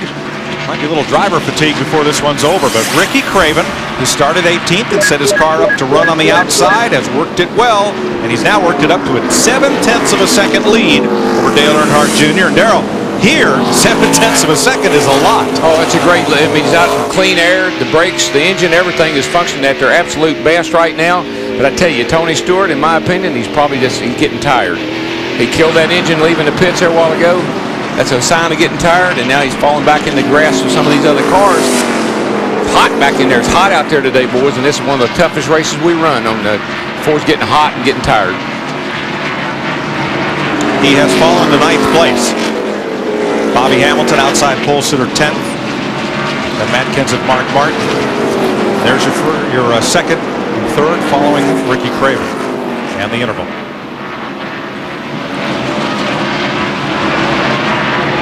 Interval is definitely growing on Terry Labonte, the third place car, the five car. Uh, this is when it, I mean, this is when it's easy. You're out front. You got a good race car. Now you just kind of keep that guy behind you just far enough back there so that when you get on, into traffic, you don't have to worry. Two fellas that are coming into the picture, though, are right behind Terry Labonte, and there they are. Ricky Rudd, the black car, and the green car, and Bobby Labonte. Bobby Labonte started 15th. He's just been quietly working his way to the front. Kind of one car about every 25 laps. Here he is in the top five. Yeah, and Ricky Rudd's another one of those. He's a veteran driver. He's won here. He knows what it takes, and you got to keep the fenders on it and stay out of trouble until about 150 to go. Then you gas it up. Eighth place. Stewart passing Rusty Wallace. I used to love to run this race, and I didn't even want them to call my name until there was 200 laps to go. With 300 lap mark, I like to say, you know, he's in the top 10. With 100 to go, I like to be in the top five, and then all of a sudden, you, you win the race. You like for him to say, now, where did he come Where did that guy come from? I how did he do that? Well, the only name that's been called more often than Darrell's here is Richard Petty's. Darrell has 11 wins. Richard, incredibly, piled up 15 victories here at Martinsville. Nice job, pal. Get your rhythm back. Next to Daytona, this used to be one of the biggest pairing races there Drive was. it straight off. You know, there's Mark Martin, his teammate Kurt Busch in the 97 car, Mark in the 6 car. Mark, he, he started back in 17th, and Kurt Busch started 20th. Now, these guys have worked their way up to uh, 12th and 13th. They have their teammate Matt Kenseth, the 17 car, coming here second in the points. He's up there uh, banging on the door of the top 10 and 11th. Uh, uh, Mike, I'm just follow up a little bit. This race used to pay fifty thousand dollars to win, and Daytona only paid like a hundred thousand to win. So this was a really big paying race all through the 70s, 80s, and early 90s. And this has always been a family racetrack as we watch the watch the Roush family of drivers, three out of the four. Jeff Burton back in 16. There's Jimmie Johnson back on track. H. Clay Earles and Bill France Sr. and a couple of partners built this track. And the Earles family, Clay Earles' grandson, Clay Campbell, now runs the Speedway. And it's still a nice little family racetrack to come to.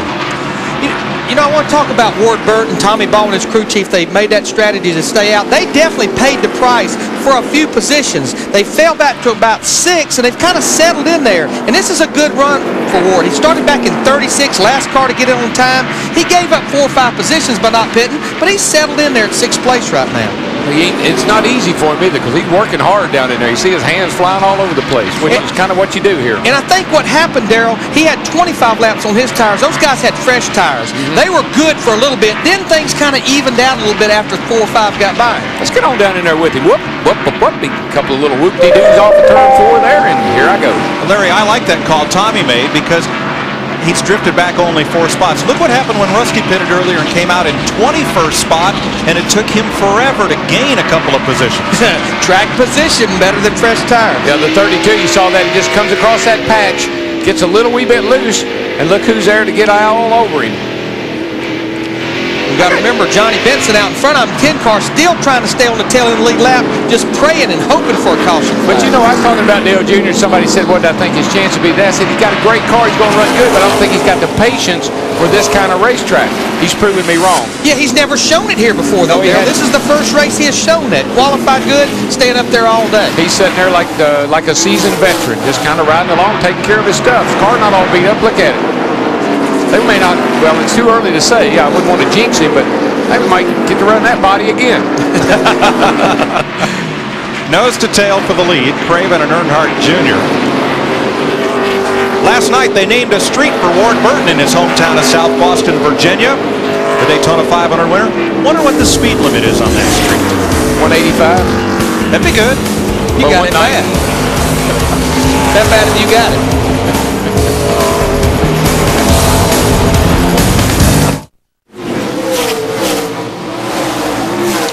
Welcome back to Martinsville, where Ricky Craven continues to lead Dale Earnhardt Jr. by less than half a second. Terry Labonte, Ricky Rudd, and Bobby Labonte are the top five.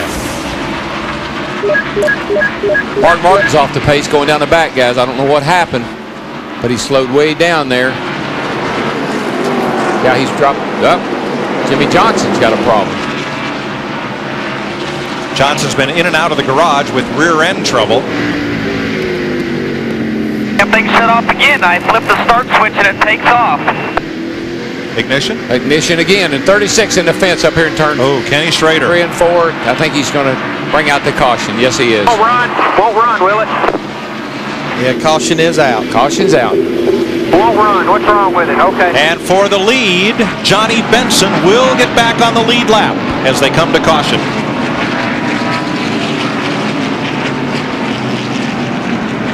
Won't run. See if they can come out and push you. It won't run. So we're going to have to push. We're going to have to push you. Dale, we've run about 54 laps. first. They got on the brakes. Listen to Kenny Schrader there try to tell Newt Morris, crew chief, what might be going on. We ran 54 laps on these tires. Maybe I change get the you four battery. fresh ones on there right now. This thing should go green. Are we going to keep track position? I'll give you four tires right now. We can go to the end of this thing. Give me four now. Four tires full of fuel. Fill me up with fuel. Then we can argue about where we're going to take any or two or whatever if we get another one. I'm going to pack the pit stuff up. Yo, All yo. Schrader's car appeared to just shut off, and it's uh, he's the wrecker's trying to come to his aid. Wrecker aid. Pit road not yet open, and it, pit road will be open this time around. That's different than Gatorade, right? Very much so. After the 10 there, they'll come out and help you. There they come. Everybody coming to pit road. Well, Schrader's misfortune was his teammate's good fortune. Johnny Benson gets back on the lead lap. Well, Schrader started the day off, you know, with his tire, uh, left rear tire going down, getting all wrapped around another car and catching on fire. So uh, he's just about used that old M&M car up today. Every car on the lead lap did hit pit road here with about 173 laps to go. Dick Berggren. A couple of laps ago, Bobby Labonte keyed his radio and said, put four tires on it on the next pit stop, take a pound of air out of each of the four tires. A few moments later, he said that it'll be two tires the next time for the win. To Matt. Dick here in the 32 pit of Ricky Craven. No adjustments. They are going to go with four tires. A little bit of trouble on the left front. A little bit of trouble on the left front. Jim Carbone had trouble getting the left front off as the 20's out, the 5's out, the 18's out. Finally, the 32's down and away to Steve. Matt Earnhardt Jr. said he liked his race car. They changed four tires, made no other changes to that number eight car. Dale Earnhardt Jr. said it's just a tad snug, but I like it. Don't change it. Boy, Tony Stewart, their group did their job on pit road. He came in sixth, goes out third, and uh, Terry Labonte, that group, they, they keep cooking on pit road today as well, that five group. That, that pit crew will step up every time if that driver's doing good out on the racetrack. When that car runs good, everything works good. New leader, Dave Blaney, assumes the front spot here at Martinsville, and now uh, he will pit and give that up. But Blaney has led a lap for the Jasper team. That'll put Dale Earnhardt Jr. out front. We've completed 328 laps in the Virginia 500, presented by Yamaha.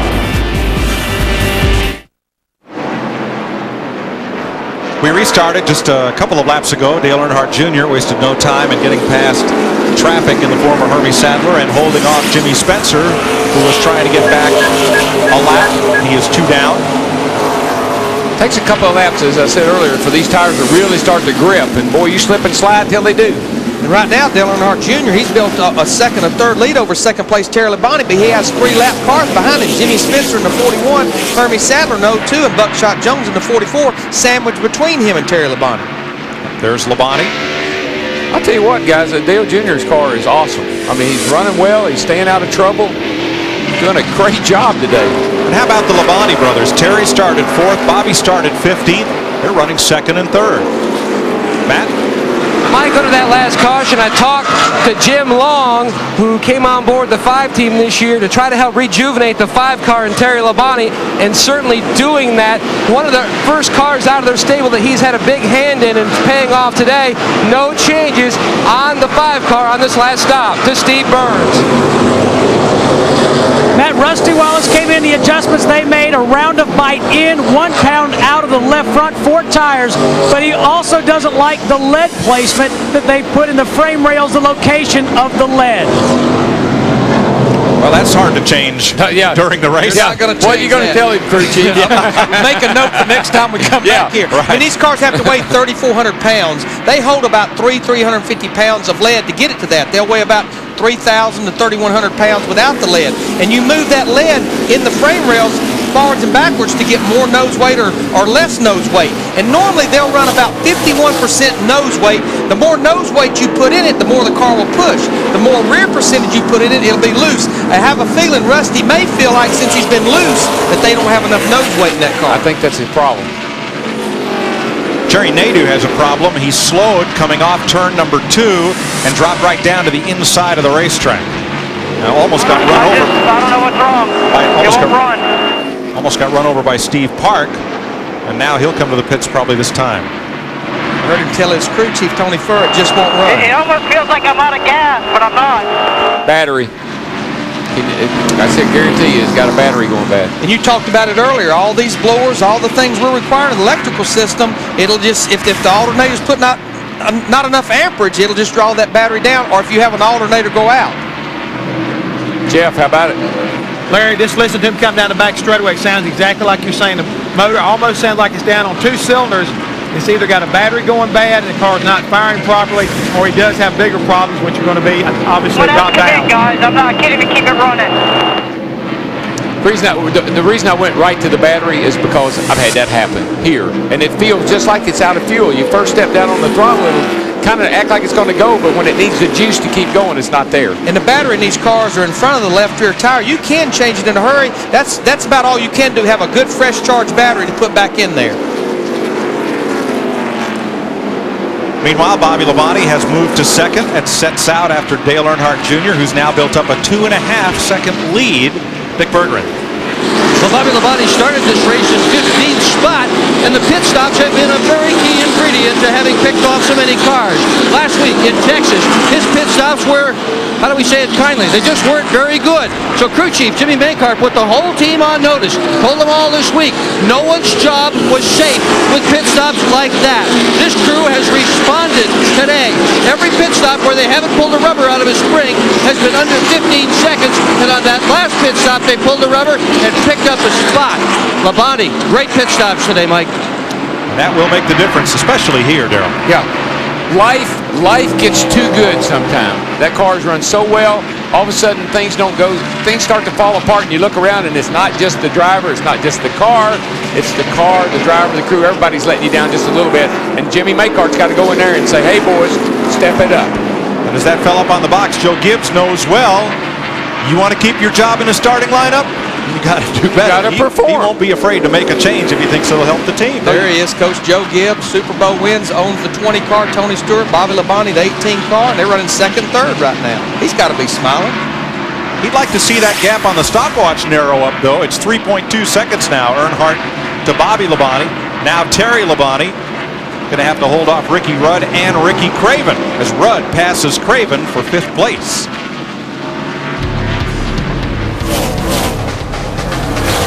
One hundred fifty laps to go at Martinsville Speedway. Dale Earnhardt Jr. trying to hold them off.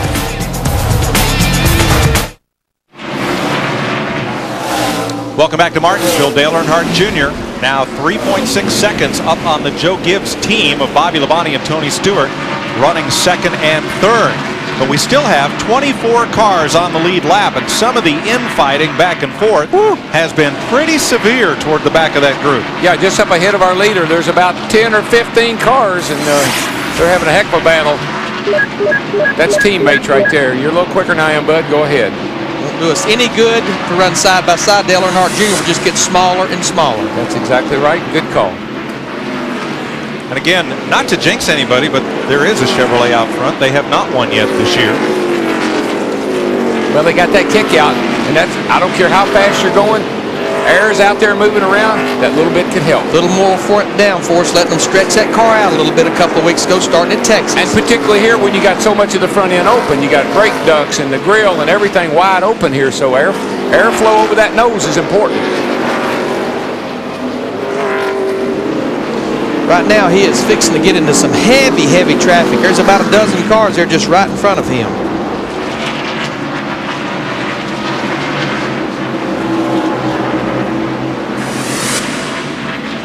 Got 142 to go. This is where he really, we talked about his patience earlier. This is where he really has to step that patience meter up. It really is, and now you're sitting. You've been sitting in that car for the last two and a half hours. You've been hot, you're getting a little tired, getting a little annoyed. Got a great car. Just be cool. And you've got a big lead to work with. That's Steve, right. What's their plan? Well, Mike, this morning I talked to crew chief Tony Eury Sr. and I asked if he had any special pit strategy. He said if they stopped with about 160 laps to go, it filled up with gas, he would try to run the rest of the way. So we're very close to that. I just asked Tony Eury Jr. if they could make it, and he said we're five laps short, so they will have to stop one more time. Boy, five laps here with that kind of lead, I believe I could buy five laps. Just roll out of that throttle a little early, pick it up a little late, especially when you're sitting there with almost a three-second lead. Now that's a crew chief story there. I'm five laps short. I mean that, that's spreading like wildfire, you know. But you know, the interesting thing, I talked to Tony Eury Jr., as Matt Yocum talked about it at the beginning of the show, they tested up here. And remember, yesterday's practice, it was very cool and overcast. I asked him, I said, what kind of adjustments are you going to make based on the temperature being up today? He said, we went back to our testing notes because it was very hot and sunny that day. I bet everybody would like to look at that notebook right now. Absolutely. Big hole behind him, long way.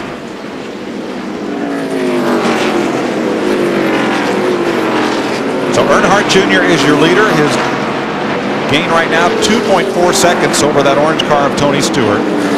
That Pontiac right behind Stewart. About a second behind Bobby Labonte, his teammate. Also in a Pontiac. Fourth, Terry Labonte. Terry is 4.6 seconds off the lead. He has Ricky Rudd right behind him in fifth. The driver who had the best car here in the first half of the race is sixth. That will be Ricky Craven. There in the 32, seventh outside pole sitter Bobby Hamilton, the 55. Eighth, our point standing runner-up, Matt Kenseth, who you see there from the rear bumper of Hamilton. Right behind him, his Roush Racing teammate, Kurt Busch and Mark Martin. One thing that happens at the outside groove on any racetrack, early in the race and through the middle of the race maybe, it's it's really, really good because nobody's running up there. So if your car will work, you don't have all the rubber and it's not as slick. But as soon as other people see what you're doing, they emulate what you're doing. First thing you know, that groove deteriorates and you're back to the bottom again. You know, I want to talk about a guy that's back on the lead lap. Now he's up there in 12th, all over the back of Rusty Wallace's rear bumper right here. Remember, it wasn't that many laps ago. He was a lap down, fighting to get that lap Trouble. back. Turn two, Herman, Herman Sadler. Sadler. Sadler round. Caution is out. Caution is out. But Dale Jarrett's back on the lead lap now, battling to get back in the top 10 after being a lap down not that many laps ago. That caution saved Jeff Green, Stacy Compton, and Dave Blaney from going a lap down. Brett Bodine and Robby Gordon. And Spencer. And I don't know if Elliott made it or not. It'd be a close one on him. Elliott Sadler. Oh, no, he couldn't get stopped and ran into the back of the 11 car. Hermie Sadler trying to get things turned around. Can't quite complete the U-turn or the bootleg turn. If his 21 car got back there, it was going to be mighty, mighty close. Here comes Spencer. He's going to make it okay. Here comes the line, and no, no, Nope. didn't quite make it.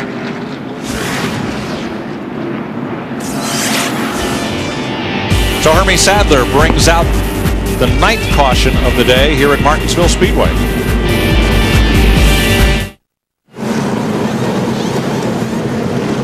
Here is the pit stop shuffle. Bobby Labonte out very quickly. Four tires for Tony Stewart and four for Dale Earnhardt Jr. Ricky Craven's stop also took a while, so the uh, field has really jumbled up as a result of this pit stop. But with all these cars coming to pit road with 133 laps to go, we know they can make it the distance. Uh, no more is fuel an issue. No, it's a perfect time to have a caution. Because now, no matter what happens, more likely you're going to stay on the racetrack. But with this far to go in the race, Darrell, would you gamble with two tires? Oh, I, no, I would have took four right here. Because Steve Byrnes. Well, thanks, Mike. Dale Earnhardt Jr. came in. It took four tires, but they had a problem. Lug nuts fell off the left front wheel. A little bit of a slow stop for Dale Earnhardt Jr. They can go the rest of the way on gas. Matt Yocum. Steve, a flawless stop by Tony Stewart's crew. Four tires, no changes. They took on four tires, Dick, while several other teams took on two. Bobby Labonte's crew picked up the, the right side tires, and that was it. They put one round in the right rear of the car. They had another great stop. He left the pits with a lead. And what they did, they put around in the right rear. That frees that car up because they knew those two right side tires was going to tighten it up, so they freed it up with a chassis adjustment. And I think they had their mind made up on two tires when they pitted the last time on 324. We heard the report from the pits. Well, 127 laps from now, we'll know if it was the right strategy. Well, you got to think about when, when am I going to take two? What are my tires going to be like when I take two? What are my left sides going to be like? So you put them on, and then that gives you the option to do something. Rusty Wallace right with him. Bobby Hamilton now third. Ricky Rudd fourth. Tony Stewart, Terry Labonte, Dale Earnhardt Jr., Mark Martin, and Ricky Craven. And the thing that Bobby Labonte has going for him with the two tires, Rusty Wallace and the two car behind him took two right sides as well. So that's that's good for Bobby Labonte. And Darrell, as you well know, when you put two fresh right sides on what left sides that have a lot of air pressure, it takes a few laps for that car to even turn and even grip the racetrack. Yeah, and, and the driver will say, you know, it's a good call. Car feels pretty good. Then he'll run along a little bit way, and he said, you know, maybe we should have taken forward. Boy, coming off turn four, Dale Jarrett lifted the whole back end of Elliott Sadler's car right up off the ground last time by. Poor Elliott Sadler. He's just having one of those days. Everything, everybody's in his way. Feels like he has a bullseye on him.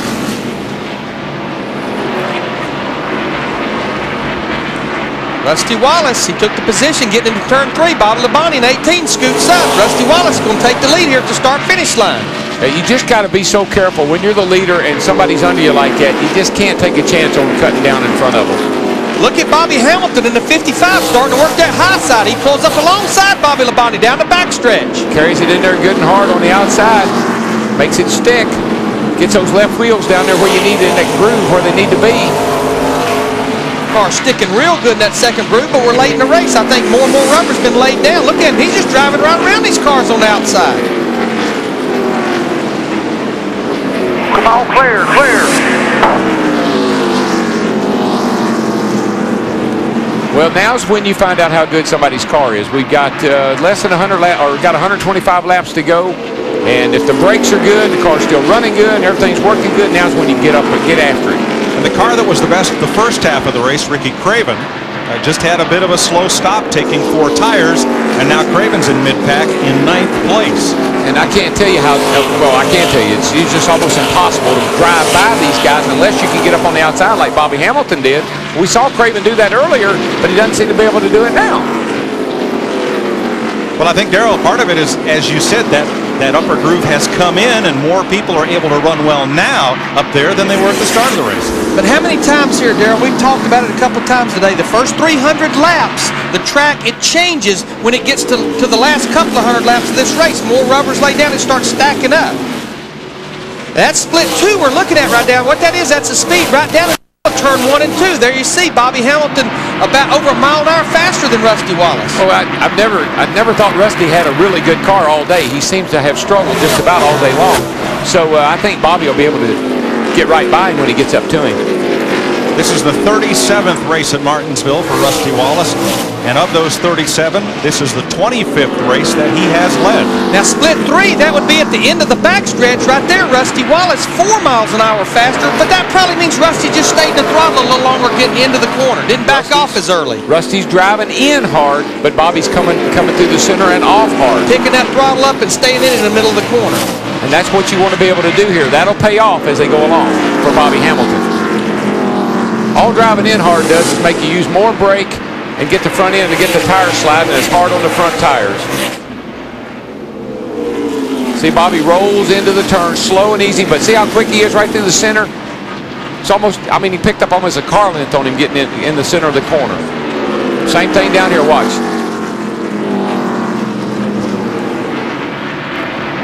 Steve? Mike, Jerry Nadeau has fallen out of this race, but he is standing by in Jeff Gordon's pits. He's got the helmet on, the Hans device on. He may replace Jeff Gordon. Remember, the power steering went out on that 24 car a long time ago early in this race. Hamilton on the outside for the lead. Now what we need to document, our guys in the pit road keep feeding us information. He changed two tires as well. They had already tried it early in the race. It didn't look like it worked that well, but getting that track position late in the race, look at that car biting up off the corner right there, Darrell. He's got a great forward. The car just really getting good acceleration forward, and uh, that's where he's beating Rusty right now. Well, Darrell, you learned a few things in yesterday's truck race. Andy Petree, who owns Hamilton's car, drove in that race, and maybe he learned a few things too. Yeah, Andy had a great run in the truck race, and he said everything he uh, did to his truck is what Bobby told him to do, and so I think that transferred over to the Cup car. And he's long gone, guys. I mean, he is fast. And I think if you ask Bobby what makes him good here, he'd tell you it's this shock package that makes him good here. Hamilton's lead increases. It was six tenths of a second at the line.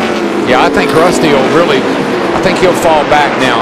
There's uh, cars that are better than him. And Darrell, if we stay green for a while, it's going to be a while before those drivers that took on four tires get anywhere near Bobby Hamilton. First, second, fourth, sixth, and eighth. Drivers all over 40. When we started this race, half the top 10 was over 40, half the top 10 aged 30 or younger. Now, what would you say about a graphic like that? That's a lot of sprints right there. It is that. You got to have sprints to win Martinsville. Bobby Hamilton has Andy Petree's Chevrolet out front here at Martinsville. He is now almost a full second ahead of Rusty Wallace. 397 laps complete at Martinsville, 103 to go among our Cook family of drivers. Bobby Labonte now third and trying to be second on Rusty Wallace. Ricky Rudd in fourth, Tony Stewart in fifth. Dale Jarrett back up on the lead lap. And John Andretti out of the race. And as we told you at the top of the day, Kevin Harvick has been parked by NASCAR. He was parked yesterday during the Craftsman Truck Series race and not permitted to compete today. It was not officially a suspension, so it could not be appealed. NASCAR has sat him down for actions in a prior Busch race uh, and in yesterday's truck race and not permitted him to race in the Winston Cup event today. So Kenny Wallace is driving that car and they've had a variety of problems and are 10 laps down after changing a sway bar. Boy, Bobby Labonte is working on the Rusty Wallace, but he just can't. Rusty's got him pinned down on the inside, and, and Bobby can't get back in the throttle quick enough to make the pass. He's getting the nose under him right here. Yeah, drifting up, but he's getting just enough bite off the corner. He can beat him down the next straight. I think he might might have him this time if Rusty will give him enough room. And he just barely gives him enough room, keeps him pinned down where he can't get back in the throttle. If he could get back in there and jump up in front of him, he'd run off and leave him. Rusty especially gets off turn two a little better than turn four. He's taking that high line off. It gives him a little better run down the straightaway. Bobby's down there bogged down. Again, he's going to have a shot at him here. If he can get up there far enough, he can sl slide him up himself. Ricky Rudd in the 28 car trying to get the Bobby Labonte's rear bumper like we've talked so much today. Bobby Labonte ever opens that door under Rusty Wallace, Ricky Rudd wants to be able to follow him through there. I think Bobby will eventually work his way by. He keeps inching a little bit further ahead every time. As soon as he gets in front of him, he'll be fine.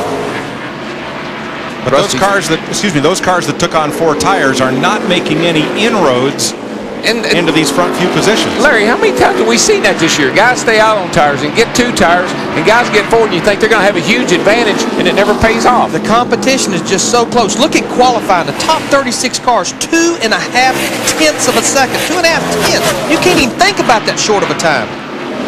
Well, Bristol, how many laps did Kurt Busch run on that set of tires? 170, I Yeah, think it it was. A, a lot. This group right here, this is second all the way through seventh, right here, just right together. Saw a little puff of smoke from Bobby Labonte's car as he accelerated off that corner from in the area of the left rear wheel. You know, when I started driving, uh, I had the Gatorade car, and it was green, and nobody would even park beside that car. They didn't want to be near that car. Said it was bad luck. I think it'd be hard to sell that uh, old theory today. It was a long-held racing superstition that the color green was We're trouble down here. Spence takes oh, out gets Ricky Craven, 32 car. Caution is out. The ninth caution of the day. Now Craven was on the lead lap, make that the 10th caution of the day. Craven was on the lead lap. Spencer was one lap down. And Bobby Hamilton comes around to take the caution. No one contests him to get a lap back. Ricky Craven will go a lap down as a result of contact with Jimmy Spencer at turn four. I, I didn't see what caused Spencer to spin. What caused him to get uh, Ricky Craven to get involved was Spencer tried to keep the motor revved up, spin all the way around and keep going, but he didn't quite make it and slid up in front of Ricky Craven. Spencer's had an exciting day, I got to say. The pit board's out for Bobby Labonte. Larry, do you stop? Well, I'm just sitting here figuring the tires. You know, you take Bobby Hamilton and Bobby Labonte, they're sitting there with about 75 laps on those left sides, and we're going to have about 90 laps to go. Uh, Matt, what's the leaders going to do? Well, that was the hot topic of conversation on the 55 teams radio, Larry. Charley Pressley asked Bobby, do you want to pit? He says, you know what? He goes, I finally feel like I've got my best set of tires. Charley says, well, let's gamble. Let's just stay out and roll the dice. That's all you can do now, guys. I mean, you can't come in now. Look, there are 23 cars on the lead lap. You take four tires, you start 23rd, you can forget it. Pit road is open. Uh, looks like most of the leaders are going a little bit. Of, oh, they are coming to pit road. They all are. Pit road. Well, if one, if one does, they all do. There's what happened to Spencer and Craven. They're all on pit road. The leader pretty well dictated that one. Now Jeff Burton in the 99, he was back there in the uh, about the 16th position. He elected to stay out. He is the only lead lap car that stayed out, Dick Berggren. Well, just a moment ago, Bobby Labonte came on the radio and said, what do you think about four? His crew chief, Jimmy Makar, said, I didn't hear you. He took right side tires and that's it. Many. Dick, they changed their mind because they felt like everybody else was going to come. They did not want to be a sitting duck, so they only took out two tires again for the third time today to Steve Byrnes. Rusty Wallace in, track bar down a quarter, four tires. He almost runs into Dale Earnhardt Jr. as he exits his pit. Earnhardt Jr. finally down and away. Let me tell you the man that's the most relieved on pit road, Charley Pressley. He's the most relieved because his car will be second. I tell you, look at the damage that Rusty's got on his car now. He's going to have to come back into pits. Yes, he will. hit. They, they made heavy contact. On Made that road. with Dale Jr., they said. Dale Earnhardt Jr. in eight car. Let's see where Dale Jr.'s got the damage. Steve? Well, guys, it was not, he almost hit Dale Earnhardt Jr., but when he tried to avoid him, he got hit on the right front by another car exiting pit road. So he missed the eight car, but when he slowed down, he got hit. I believe it was the four car. Yeah, they'll have to come in and get that sheet Pit metal road, around get that right front, out from around it. Now, here's the four car. Mike Skinner pulling out. Oh, yeah. Rusty just drove right into him, actually. Yeah. He was, but he had to. He was trying to make a sharp turn out from behind the eight car. Now, Dale Earnhardt Jr. is, now there's the contact. Look where Earnhardt Jr.'s car is, just Yeah. over the line with the right rear. That's barely legal, right where he is getting service, but it sure doesn't leave a lot of room for folks to get out behind him. And in Rusty's defense, I mean, he's sitting in there. Let's look at this replay right here. Ricky Craven, Jimmy Spencer in the 41 spinning around. Just spun right in front of him. But in Rusty's defense, Darrell, he's sitting there. He has a full face helmet on. He has a head neck restraint device. He has all these headrests. It's up to the spotter and the crew chief to make him aware of cars that's coming down pit road. Oh, I see what happened there now. 32 did turn the uh, 41 around. That view from Dale Jarrett. Jeff Burton is our leader. He did not pit. Ricky Craven uh, has gone a lap down. And Rusty Wallace has some right side damage. Yeah, I can't believe he didn't come back in. The four car's got a tire down now, I think. Has a left front down. Yeah, yes. left front. He's going to have to come back. And that would be from the contact, Contact. on pit road with Rusty Wallace. We're going racing too. Now here's something new after the checkered flag. The coverage continues over on Speed Channel with the Winston Cup wrap up. The best post race coverage anywhere, from the highs to the lows and all in between.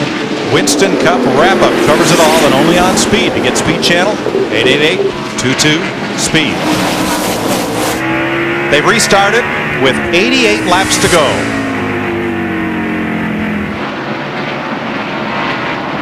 Jeff Burton, Bobby Hamilton, Tony Stewart, Bobby Labonte, Terry Labonte.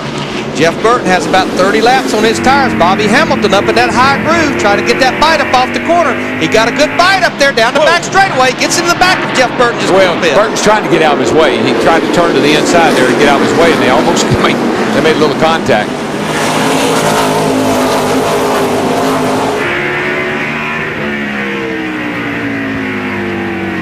For the lead, Hamilton takes over. He was leading before the caution and now goes from second back to the lead. But his crew did their job. He came on the pit road. He, he was the first one off of pit road because of Jeff Burton staying out.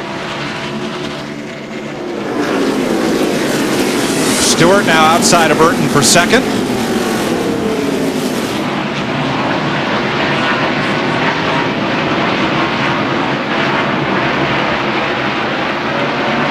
Right now, Bobby Hamilton, he has that clear racetrack in front of him. That's a pretty sight right here with about 85 laps to go. And the way that car is shooting off the corner, he is just, I'm telling you, he's going to be a mighty hard man to beat. Oh, Spencer and Kurt Busch just got together, and that accordioned the field right behind them. Ricky Rudd got a little damage, I think, from that little incident. Ricky Rudd and Dale Earnhardt Jr. This is back in 10th place. Well, they, Rudd came in running fourth, so I got to believe he must have taken four tires, Larry. Yeah, it put him way back in the field. Yeah, it wasn't that they had a bad pit stop. They just took four tires. Steve Byrnes. Still there. Yeah, right there, I couldn't hear exactly what you said down here, checking some stuff out in the 28 pit, but they did, in fact, take four tires, and apologize if that's what you just said, but we were just checking it out. yeah. We suggest and you confirm. And that's Still there. Still there. Run outside of Clear Bill low. Elliott Clear low. Clear off clear. Now Bobby Labonte wants Jeff Burton's position, which is third. And right behind him, Jeff Gordon and Darrell Gordon continuing to fight that car with a broken power steering You, you know, folks, I can't tell you how hard that car is, would be to drive with the power steering not working. Uh, it's like trying to drive a truck. Uh, it's got so much caster in it. Caster's what the, the front end setting. It's so hard to steer that, but I'm telling you, he's doing a whale of a job to hang on to it. Well, in your family passenger car, if your ignition cuts off and the motor shuts off and you're still trying to roll, you see how hard it is to turn that thing. That's what he's trying to do out there at well over 100 miles an hour in, in all of these laps that's left to run. And folks, no matter how bad you have it, don't try that. Don't try this at at home. Let's go to pit road. Bobby Labonte has never won a Winston Cup race here. He won a Busch Series race here. And just a few moments ago, he heard his crew chief, Jimmy Makar, explain why he did not get the four tires he was discussing. And the reason, according to Makar, was the other guys who'd done it on the last pit stop didn't go anywhere. So he took just right sides, and that was it. Labonte running well. He's in third spot. To Matt. While Labonte still searches for his first short track win, Stewart has four. In fact, he's a former winner here at Martinsville. His crew chief, Greg Zipadelli, knows how important track position is here at Martinsville, especially on that last pit stop. That's why they took on two tires. Also, they took on four tires in the previous stop, so their left sides were going to be good. No adjustments for Stewart. But remember, DW, his car does take about 15 to 20 laps to come in after each pit stop. Yeah, it seems to be that way. The, I don't know if it's going to come in in time to catch Bobby Hamilton today or not. Boy, he has pulled out to a great lead. Instead of Bobby, it's bye-bye Hamilton. 77 laps to go, and that 55 has opened up a one and a half second lead over Tony Stewart.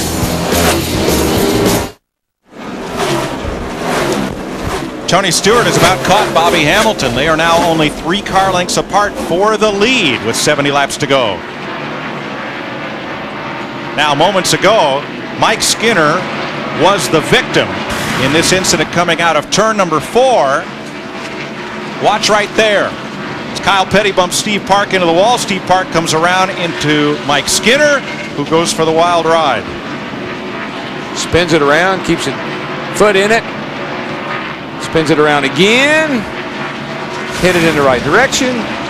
We stayed racing. And Tony Stewart, going into turn one, takes the lead from Bobby Hamilton.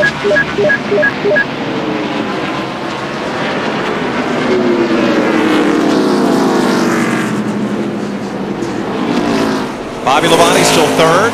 Terry Labonte right behind him. You see Terry there in fourth. Fifth, Matt Kenseth, the number two point man, and Dale Jarrett has climbed to sixth. Jeff Jarrett's Burton is good. seventh. Ever since Jarrett got back on the lead lap, his car has looked really, really good. I mean, he has been moving forward through the field. And I've been watching the scoring monitor. He's in clean traffic. He's about a tenth quicker than either Tony Stewart or Bobby Hamilton. And remember, he chased down his teammate here a year ago and passed him with five to go to win the race. Now, right behind Jarrett, Dale Earnhardt Jr. has just passed Jeff Burton, trying to get back up toward the front of the field. Jr. now up to seventh, kicks Burton to eighth. Kurt Busch is ninth, and Ricky Rudd is tenth. And Larry, do you believe some of those crew chiefs are kind of kicking themselves for taking four tires? Well, uh, again, we have to remember last year, and I'm sure that may have been on Todd Parrott's mind. He won this race last year because of a long green run and having four fresh tires versus the two tires that Ricky Rudd, his teammate, had. Let's see how fast they're running, and we'll do speeds at the line here.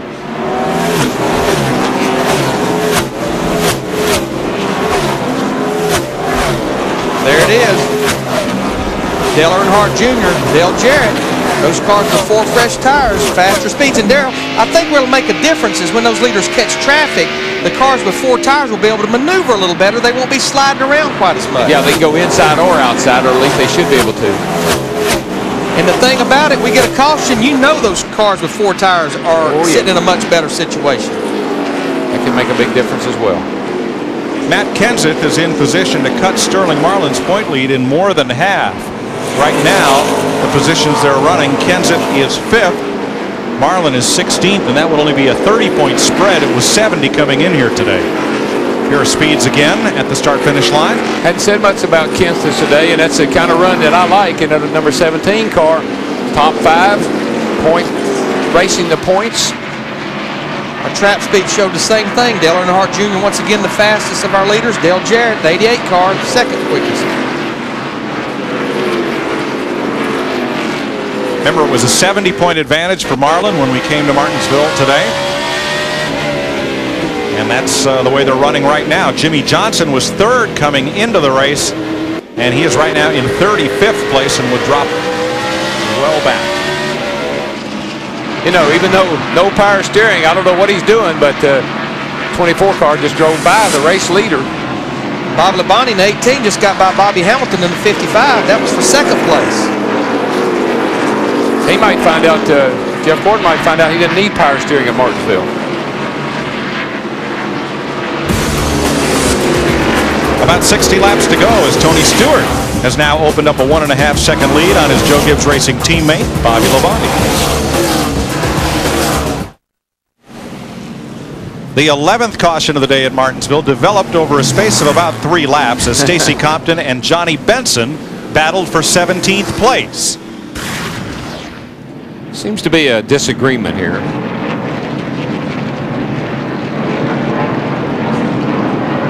Oh, well, what happened to four car caused the 10 Benson to slow down. Stacy got a run on him. And it's almost, oh, and then they go in the corner, he slides up into him. Yep. Yeah, he, he definitely it was. He slid up into him. Yeah. He didn't drive. What happened Wait, was he this- was Okay, it wasn't quite over. Yeah, well, what happened there, Mike, is the four car checked up a little bit, caused the 10 to lose some momentum. The 14 gets a run on him, then they get down here to the corner. Stacy had to go way down to the inside, get all the dirt on his tires, couldn't turn when he got to the corner. How about Leaders are pitting. Well, a lot of debate, Mike, down here in the 20 pit about whether to take tires are to stay out, keeping in mind the cars behind them. The 55 also came to take two tires, but the 20 decided to go for four at the last minute. Greg Zipadelli decided to go for four. The 55 car looked up pit road, saw the 20 going for four. They're going for four as well. The 55 was a little bit loose on that last run, Mike. Thanks, Matt. They'll come back out. And we'll show you in real time Stacy Compton and Johnny Benson's get together as they battled on the lead lap for about 16th position.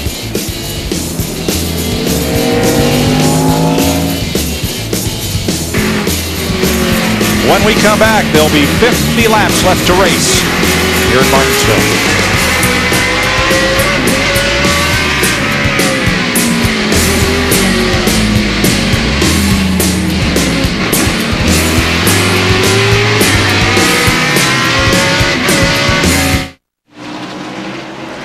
For the restart, the only cars that stopped on the lead lap were Tony Stewart and Bobby Hamilton, and they restart 13th and 14th. Yeah, I don't understand. I just don't understand that uh, that strategy there at all. Now they may make me wrong here before the day's over with, but golly, is a bad time to take four. Well, they were 13th and 14th, but with lap traffic, that's like 26 and 27. Yeah, we only got uh, 50 laps to go. And look at how much traffic those two cars are going to have to get through if they're going to come back to the front. Yeah, it's not just the cars in front of them on the lead lap, it's all that lap traffic on the inside as well. And now it's just 50 laps to go. Yep. It's either going to be real exciting or those guys are going to get really upset with their crew chiefs. Dick Berggren, one of the Gibbs cars came in, the other one stayed out. Yeah, the one that stayed out is the one that's leading the race right now, Bobby Labonte, and I just climbed on top of his pit box, and I asked his crew chief, Jimmy Makar, why did you not pit? He looked at me as if I had completely lost my mind and said, track position. Rule one.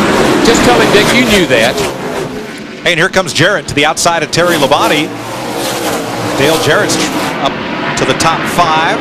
And just remember, Dale Jarrett, Dale, Dale, Dale Earnhardt Jr., they have fresher tires than anybody right here. They got four fresh And tires not that many laps ago. The 28 did too, so they're in the catbird seat now, I think. The way Junior run earlier and the 88's been moving up through there, that's where your race is, I believe. It's between the eights. But as we've said all day, Darrell, catching them is one thing here. Passing them, when a good when a car is good on the bottom, passing them's another. 88, 8, and 28 between the eights.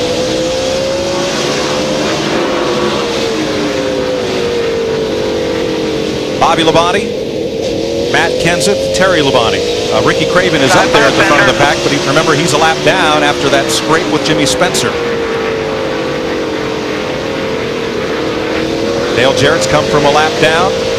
Leader Bobby Labonte has never won a short track Winston Cup race. Courtesy of uh, Tony Stewart, I might add. Got back on the lead lap. He slowed down, let Dale back. Just look at the car right behind these guys. Old Kurt Busch in that 97 car started back in 20th. He's sitting there in sixth position. He told me on Friday, I don't like this place. That's the same thing he said about us. Uh,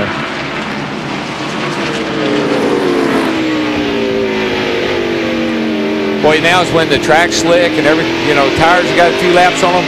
You just can't jump back in that throttle. You've got to squeeze down on it like it's got an egg under it. What makes things worse is up in those first 10 cars, you've got two fellas who want to get back on the lead lap. One is Ricky Craven, and the other one who's looking over Dale Jarrett is Jimmy He's Spencer. not looking over right now. He's driving over him.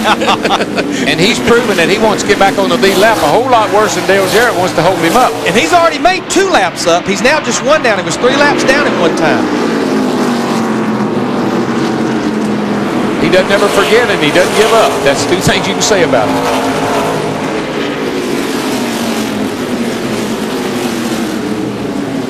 Ricky Rudd, the 28 car to the outside of Kurt Busch. This is a battle for six. Took it in on the outside, got a great run, and here he's down into on the outside again. Great run down into the corner. Car cuts good for him. He's back in the gas and really accelerating forward good. Car looks real good. I think right now Ricky Rudd is the best car on the speedway, but with only 40 laps to go, will he have enough time to show it? Oh, I think he will. There's enough beating and banging going on that uh, he's going to get mighty close if he doesn't make it. Terry Labonte in the five got real long, loose off turn two. Dale Earnhardt Jr. goes by him. Jimmy Spencer trying to get closer to the front. He's going to go by him as well down the front stretch. Earnhardt Smooth, Jr. Nice and smooth. Here we go. Earnhardt Jr. restarted seventh. He is up to third. Clear two back to 41. He is the last car. I'll try to work with him here. Well, Terry shoved up the track there, and then Dale got a Dale Jarrett got a run under him. He cannot keep his car on the bottom right No, now. it looks like he's driving it real hard, using too much brake. Whoa, that close right there. That's funny, Darrell. The first half of the race, you wanted that car to work on the outside to get around people. Late in the race, you want to be a bottom feeder. That's right. They've used up that outside groove. They've got enough rubber up there now that uh, the bottom's the place to be. Third Todd Parrott, Dale Jarrett's crew chief, took the crew chief uh, position back over last week at Texas, telling him, be smooth, go get that eight car.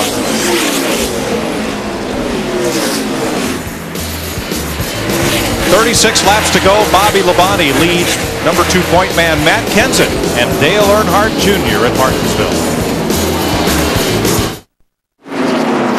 Welcome back to Martinsville. 28 laps to go. Ricky Rudd is just passed by Tony Stewart for sixth place. Well, actually, what happened was that Rudd got up alongside of Tony Stewart down here in turns uh, three and four, but Stewart was able to push him up a little bit and get back ahead of him. And Dale Earnhardt Jr. has caught Matt Kenseth. That's the battle for second. Got a good little race brewing here. 20 on the 5, 28. 8 kicking up here after the 17. There goes the 20 by the 5. Ricky Rudd's right there. Probably going to make that same move here pretty shortly. Meantime, Bobby Labonte is in the cruise control. Two second lead. Whoa, here we go. Oh! Deja vu. Whoa. And Matt Kenseth just gets underneath Jimmy Spencer. What a deal. And Dale Jarrett Is he going to be a caution? Yeah, got to be a Caution is caution. on the speedway. Dale Jarrett goes back. Boy, the 8 and 88. 8's not happy with the 88 because he passed him when the caution came out, and that's supposed to be a no-no. I don't really blame Dale Jarrett. It's late in the race. Got to take him, catch him, and pass him, and that was one of those times. But I don't think Junior's going to be happy about that. Darrell, isn't it kind of a gentleman's agreement that unless you're a lapped car in touch with the leader, you don't race back to the flag? Well, you don't it's race not back. the rule, is it? You normally wouldn't pass him, but we're in 25 laps to go here. Every it's so hard to pass, and uh, Junior had to check up a little bit more than uh, Dale did, Dale Jarrett, and he was able to make the pass. Probably not happy. Junior probably not happy about that, but that's the way it is. 12th caution of the day, and Ricky Craven's car has not moved from that spot in turns one and two. Let's uh, show you what happened here. Spencer's out a little bit wide. The 32 gets under him and then tries to stay off of him. And by virtue of trying to stay off him, he gets in just enough to turn them both around. From Dale Earnhardt Jr. Whatever, you come through on the bottom, come through on the bottom. Go up, go up, go up, right there, clear. Wow. First to the bottom, then to the top. There goes the 88. Spun around, buddy. I'm spun around. See, that's how Jarrett got by him when Earnhardt went to go to the high side around Spencer. Jarrett just can't get digging. Kenseth, the 17 car, just he was up on the dirt. Well, he got he got into him right there, though. He got into the back of Jimmy Sum right there. I don't think it. I don't know if it hurt anything or not. And they're going to have to sweep the bottom of the racetrack where Matt Kenseth did a little agricultural racing there up and over the curve. We'll be right back. Getting set for the restart. 21 cars on the lead lap, 20 laps to go. Bobby Labonte, Matt Kenseth, Dale Jarrett third, Dale Earnhardt Jr. fourth, Tony Stewart fifth, Terry Labonte, Ricky Rudd, Kurt Busch, Mark Martin, Jeremy Mayfield, the top 10. Then Michael Waltrip, Jeff Burton, Rusty Wallace, Ward Burton, Hut Stricklin, Sterling Marlin, Johnny Benson. Here we go.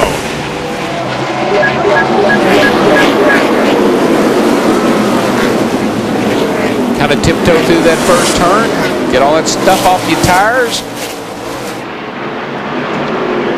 Like Matt Kenseth Want to take a run getting into turn three. He's all over the back of Bobby Labonte right here. 18 laps to go. Can you believe that Matt Kenseth could win his third race of the year before anybody else has won two? And uh, taking a huge chunk out of the point lead. Other, anybody other than the point leader, Sterling Marlin, that is. Well, Tony's under Dale Jr. over there going into three. Woo! Dale Jr. gave him enough room. A lot of bumper tap. That was going to get real exciting. Tony's got a pretty good hot rod right now. And he's got a lot better tires than everybody up there right now. Well, Dale Jarrett's got good tires, and he's going to make a run on Kenseth. Give me some room, bud. Don't cut out now. He has a position. This car get a bite up off the bottom right there. This is a battle for second. Rusty out of the groove goes to the tail end of the line as we watch this battle for second between the two Fords of Jarrett. Kenseth would be wise just to let, if, if he could, let Dale Jarrett go because it's going to drag everybody up, everybody else right up in the race with them, and it's going to cost either, both of them a chance to race Bobby Labonte. You know, the thing that's happening with the second group, I've never seen here before. Oh, being able to Buckshot drive Jones in the around. corner. Sorry, Larry. Buckshot Jones got turned around. Oh, and he gets hit by Johnny Benson at 10. Caution is out. Man. And that just knocked the radiator or the oil cooler off of Jones' car. And Jarrett's going to make another pass with the caution flag waving on the But 17 Tony car. Stewart the 20 as well. Looks like he's trying to. Yep. Everybody's racing back. Slick track right there.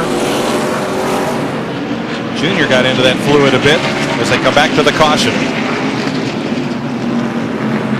Tony Stewart was making a run on Matt Kenseth for third. He didn't quite make it. Well, when you get in this this close to the end of the race, all bets are off, babe. You got to do what you got to do. Look at look at Kenseth. He is very unhappy with Dale Jarrett, but listen, we got 10, 15 laps to go here, man. You can't hold, you can't wait, can't hold back. Buckshot Jones has taken his car to the garage. Now watch this come into the to the front of the frame here. Right there. It's Kurt Busch in the 97. Got into the 44, and he's just sitting there. But what happens, Benson? Ooh. Benson was up high when he come to the corner, and he couldn't get down. I mean, it was a big traffic jam right after a restart. Cars too wide all the way through there.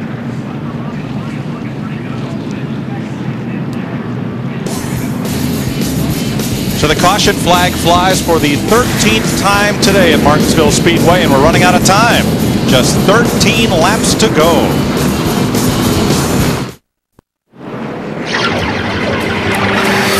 10 laps to go at Martinsville, Virginia Speedway. In the Virginia 500 presented by Yamaha on FX, and we'll have a restart coming up here shortly. All four Roush cars this weekend are in the top 11. The 99 car's 11th, 97 is 9th. Uh, Mark Martin is 8th, and we got our uh, second place man in the points running third. So another stellar day for the Roush organization. Dick Berggren. Well, Jimmy Makar just keyed the radio to Bobby Labonte, and he said, you know what you've got to do on this restart. He's going to be all over you like green on a leaf. To Matt. Dick, on the second to last restart, Tony Stewart came out and said, my pedal feels good. Greg Zipadelli, crew chief, said, good, you've got to lay it all out now. And remember one thing, Stewart won four USAC open wheel championships, racing 25 to 30 lap feature races. Well, this is this kind of race, Mike. Yeah, this will be about an eight lap feature race. Uh, let's see if they give one to go this time. They do not. Uh, yeah, there's there's still a lot of stay drop and just right up out of the groove down in the fourth turn there, third and fourth turn. What's going on in the hotel, boys?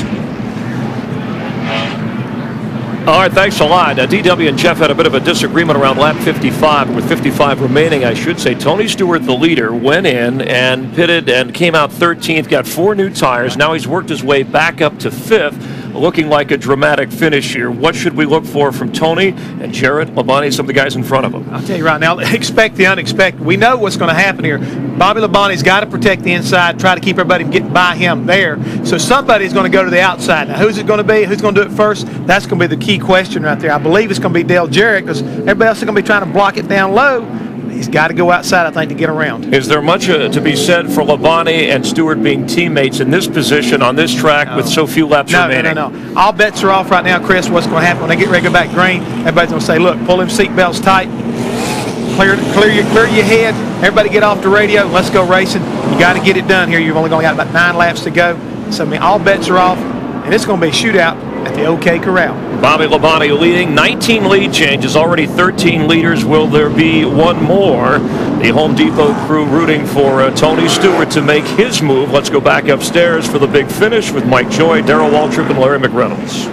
One thing I would not want to do is go into the third turn on the outside of somebody because you see that little patch of stay dry down there? Yep you could that could be your best friend if you were on the inside of somebody. What's good about this restart, guys, we're under 10 laps to go. It will be a single file restart, down finger restart, they call it. Lead lap cars only to the front of the pack. All right, Fox tracks on three of those lead cars. Chances are somebody's feelings and somebody's fenders are about to get hurt. I think the race, I, I believe the 18, I think the 18 is going to slide up, the 88 is going to get under him. The race is between 17, 20, and 8. Green, green. Just remember, Tony Stewart, he has 38 less laps on his tires than the rest of these guys. He wants to jump on it early here, getting into turn one all the way at the bottom, Matt Kenseth. Clear. Didn't get that runoff turn two, though. Matt Kenseth's hold on the third spot. Oh, Kenseth gives Gets Jarrett a boot and moves him up. You know what that is? That's called payback. Payback. Pass me on the caution. Yep. You beat me back to the caution and I'm going. But Bobby Labonte's loving this. You guys keep running side by side. I'm out here leading this race. Next time by, five laps to go. Now, if Matt Kenseth's a good short track racer that I think he is, take him up a little bit. Side. And eight wheels corner better than four. Always have. Kenseth to second. Don't tell me he's point racing. Not now, and him and Jarrett aren't finished with each other yet. It's going to cost them both. And here comes Stewart for third. Still outside of your bumper. 20 with you. Dive it in it. Bobby Labonte, 18 car, just being smooth with that thing. Whoa, he what's going on in the back. Stewart then. Tony got sideways down on that patch. Lost a lot of ground. Four to go. Even the spotters get up on the wheel as Kenseth and Jarrett battle side by side. Bobby Labonte's got to have a big smile. Oh, Bobby Labonte is home free. He's just sitting out there just loving it. Three laps to go. This time Stewart gets in the back of DJ in that 88 car. That helps Kenseth pull away. And so, folks, this is not, this is short track racing. It's bumping and grinding. It's what you do with five or six laps to go. And the guys see how they hang on to the cars. You keep your composure, hang on to the car, and keep racing. Stewart almost had a run underneath Jarrett. Jeff Burton around the outside of Kurt Busch picks up a position. Trouble. 55's around. Hamilton spins and catches Kyle Petty. And Johnny Benson nowhere to go. No caution Oh, yet. there, has got to be a caution. There it is. Car's Caution ever- is out. car's is out. They'll be coming to the white flag. And it'll be over because Bobby Labonte will take the white and the caution oh, flag together and then roll around to the checker. Matt Kenseth, Tony Stewart, Dale Jarrett, Dale Earnhardt Jr., Terry Labonte, Ricky Rudd. Bobby Labonte has never won a Winston Cup race on a short track. And we all picked him, didn't we? We all picked him to win today. didn't we? Yeah, about, about two laps ago. Oh, boy. What a day. Look at that race car, not a scratch on it. Checkered flag, Kenseth pulls up alongside to give Labonte a wave. And Bobby Labonte has his 19th career Winston Cup victory in the Virginia 500. When I said the eights, I left out 18, I think. I think, well, by inference, he's one of those eights. Now here's what happened to bring out the race's 14th and final caution. That Stricklin was into the back of the 77, which shoved him up into the back of the 55. Nowhere for Kyle Petty and the 45 to go. Here's Hamilton's in car. And we'll come back and go to victory lane with Bobby Labonte. Indy 500 on FX is brought to you by UPS, official delivery company of NASCAR. We want to race the truck. People love the truck. The Pontiac Wide Track Attack Team congratulates Bobby Labonte and the number 18 car for his big victory here today at Martinsville Speedway. Pass it on. Bobby, come on out.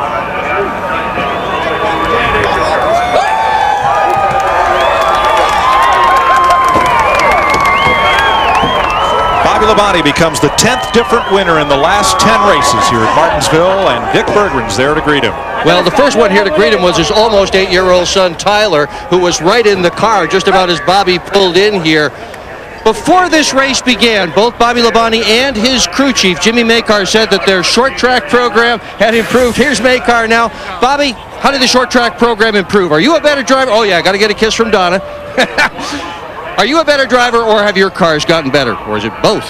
Uh, these cars have gotten a lot better. Uh, Well, I say a lot better. I, I think it's a combination of both. And, um, you know, obviously, uh, Tony Stewart and the Home Depot team, they're, always really good on short tracks, so we feed off that, so that's really good. But, uh, yeah, you know, it's just wonderful. I mean, I won a race here a long time ago in a Busch car, and I never run good in a Cup car, it seemed like. But uh, we've been inching on it, so uh, thank goodness this little Pontiac did good today. I want to say hi to all the folks at, uh, in Hawaii. Interstate Batteries are all in Hawaii, and they got a they got a satellite put in the hotel room because they couldn't get FX at the hotel, so uh, they'll have to change that for next year. But uh, want to say hello to them and uh, you know thank them for everything. We had a bad weekend last weekend in their hometown, so picked up this weekend. But um, you know this Interstate Batteries Pontiac ran good. Guys had great pit stops all day. Goodyear tires were great. We had two tires on a long time. We had no tires there at the end, and the thing just hooked up there at the end. We worked on it all day. Uh, Jimmy and all the guys made uh, you know good good decisions on the pit stops and. Yeah, that was a lot of fun. So, okay, I'm out of breath. You are. Congratulations, Bobby Labonte. First ever short track win. Hope he told those folks to call uh, 1-800-FX-FX-FX1 as Terry Labonte congratulates his younger brother on his win today. We'll be right back.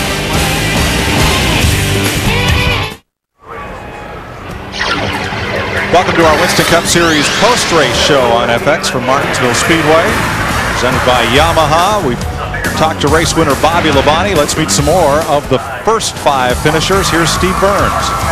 Thanks, Mike, with Matt Kenseth, who came in second. Tremendous battle all day long. Some great race cars. You and Dale Jarrett really went at it the, at the end.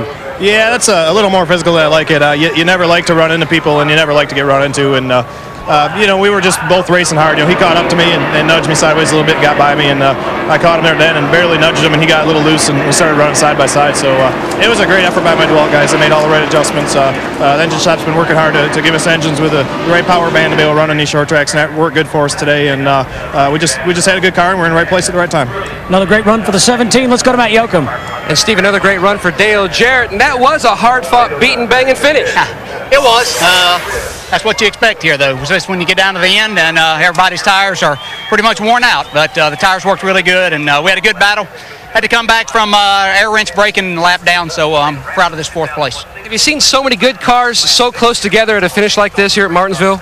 No, I don't think so. Uh, you know, I asked one time there one of the cautions how many cars behind me were still in the lead lap, and they said about 15, and I was running eighth or ninth. So uh, you had to really plan your strategy, but just shows uh, how tough the competition really is. Real quick, what'd you tell Dale Earnhardt Jr. when he was sitting here? When he was behind me, uh, we flew up here with me. I picked him up this morning, uh, brought him up, and I told him if he would have turned me down there like I thought he might one time, he's going to have to ride back in the luggage compartment going home with a helicopter. But we just laughed. No, it was good racing, and uh, you knew you were going to get hit, and you knew you were going to hit people, and uh, just got to expect that here. Dale Jarrett, seventh straight top 10 finish at Martinsville. Bobby Labonte the winner, Matt Kenseth, Tony Stewart finished third, Jarrett fourth, Earnhardt Jr. fifth, Terry Labonte, Ricky Rudd, Mark Martin. Some of those uh, over 40 guys having a good day here.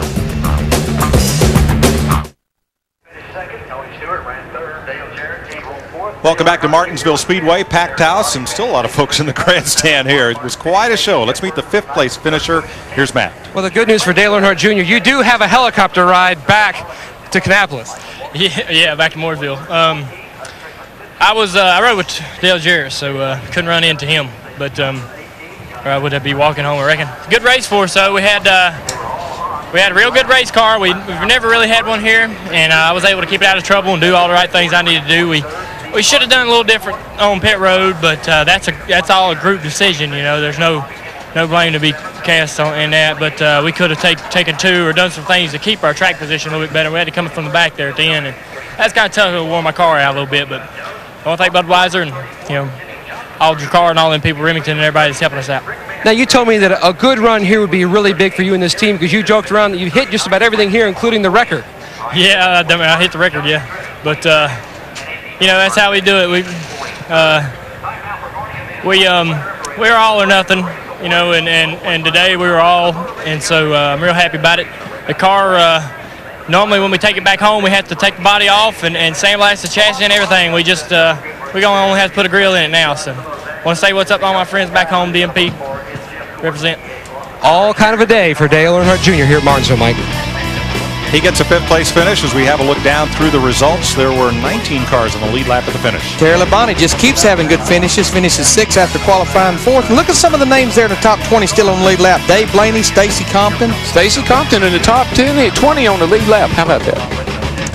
See, Bobby Hamilton finishes 27th after looking like uh, nobody was ever going to catch him there near the end. And all four Roush cars end up in the top 10. Wow, that uh, that streak continues. Well, the points have gone topsy-turvy. Sterling Marlin had a 70-point lead coming to Martinsville. He heads for Talladega just 27 points ahead of Matt Kenseth. More after this.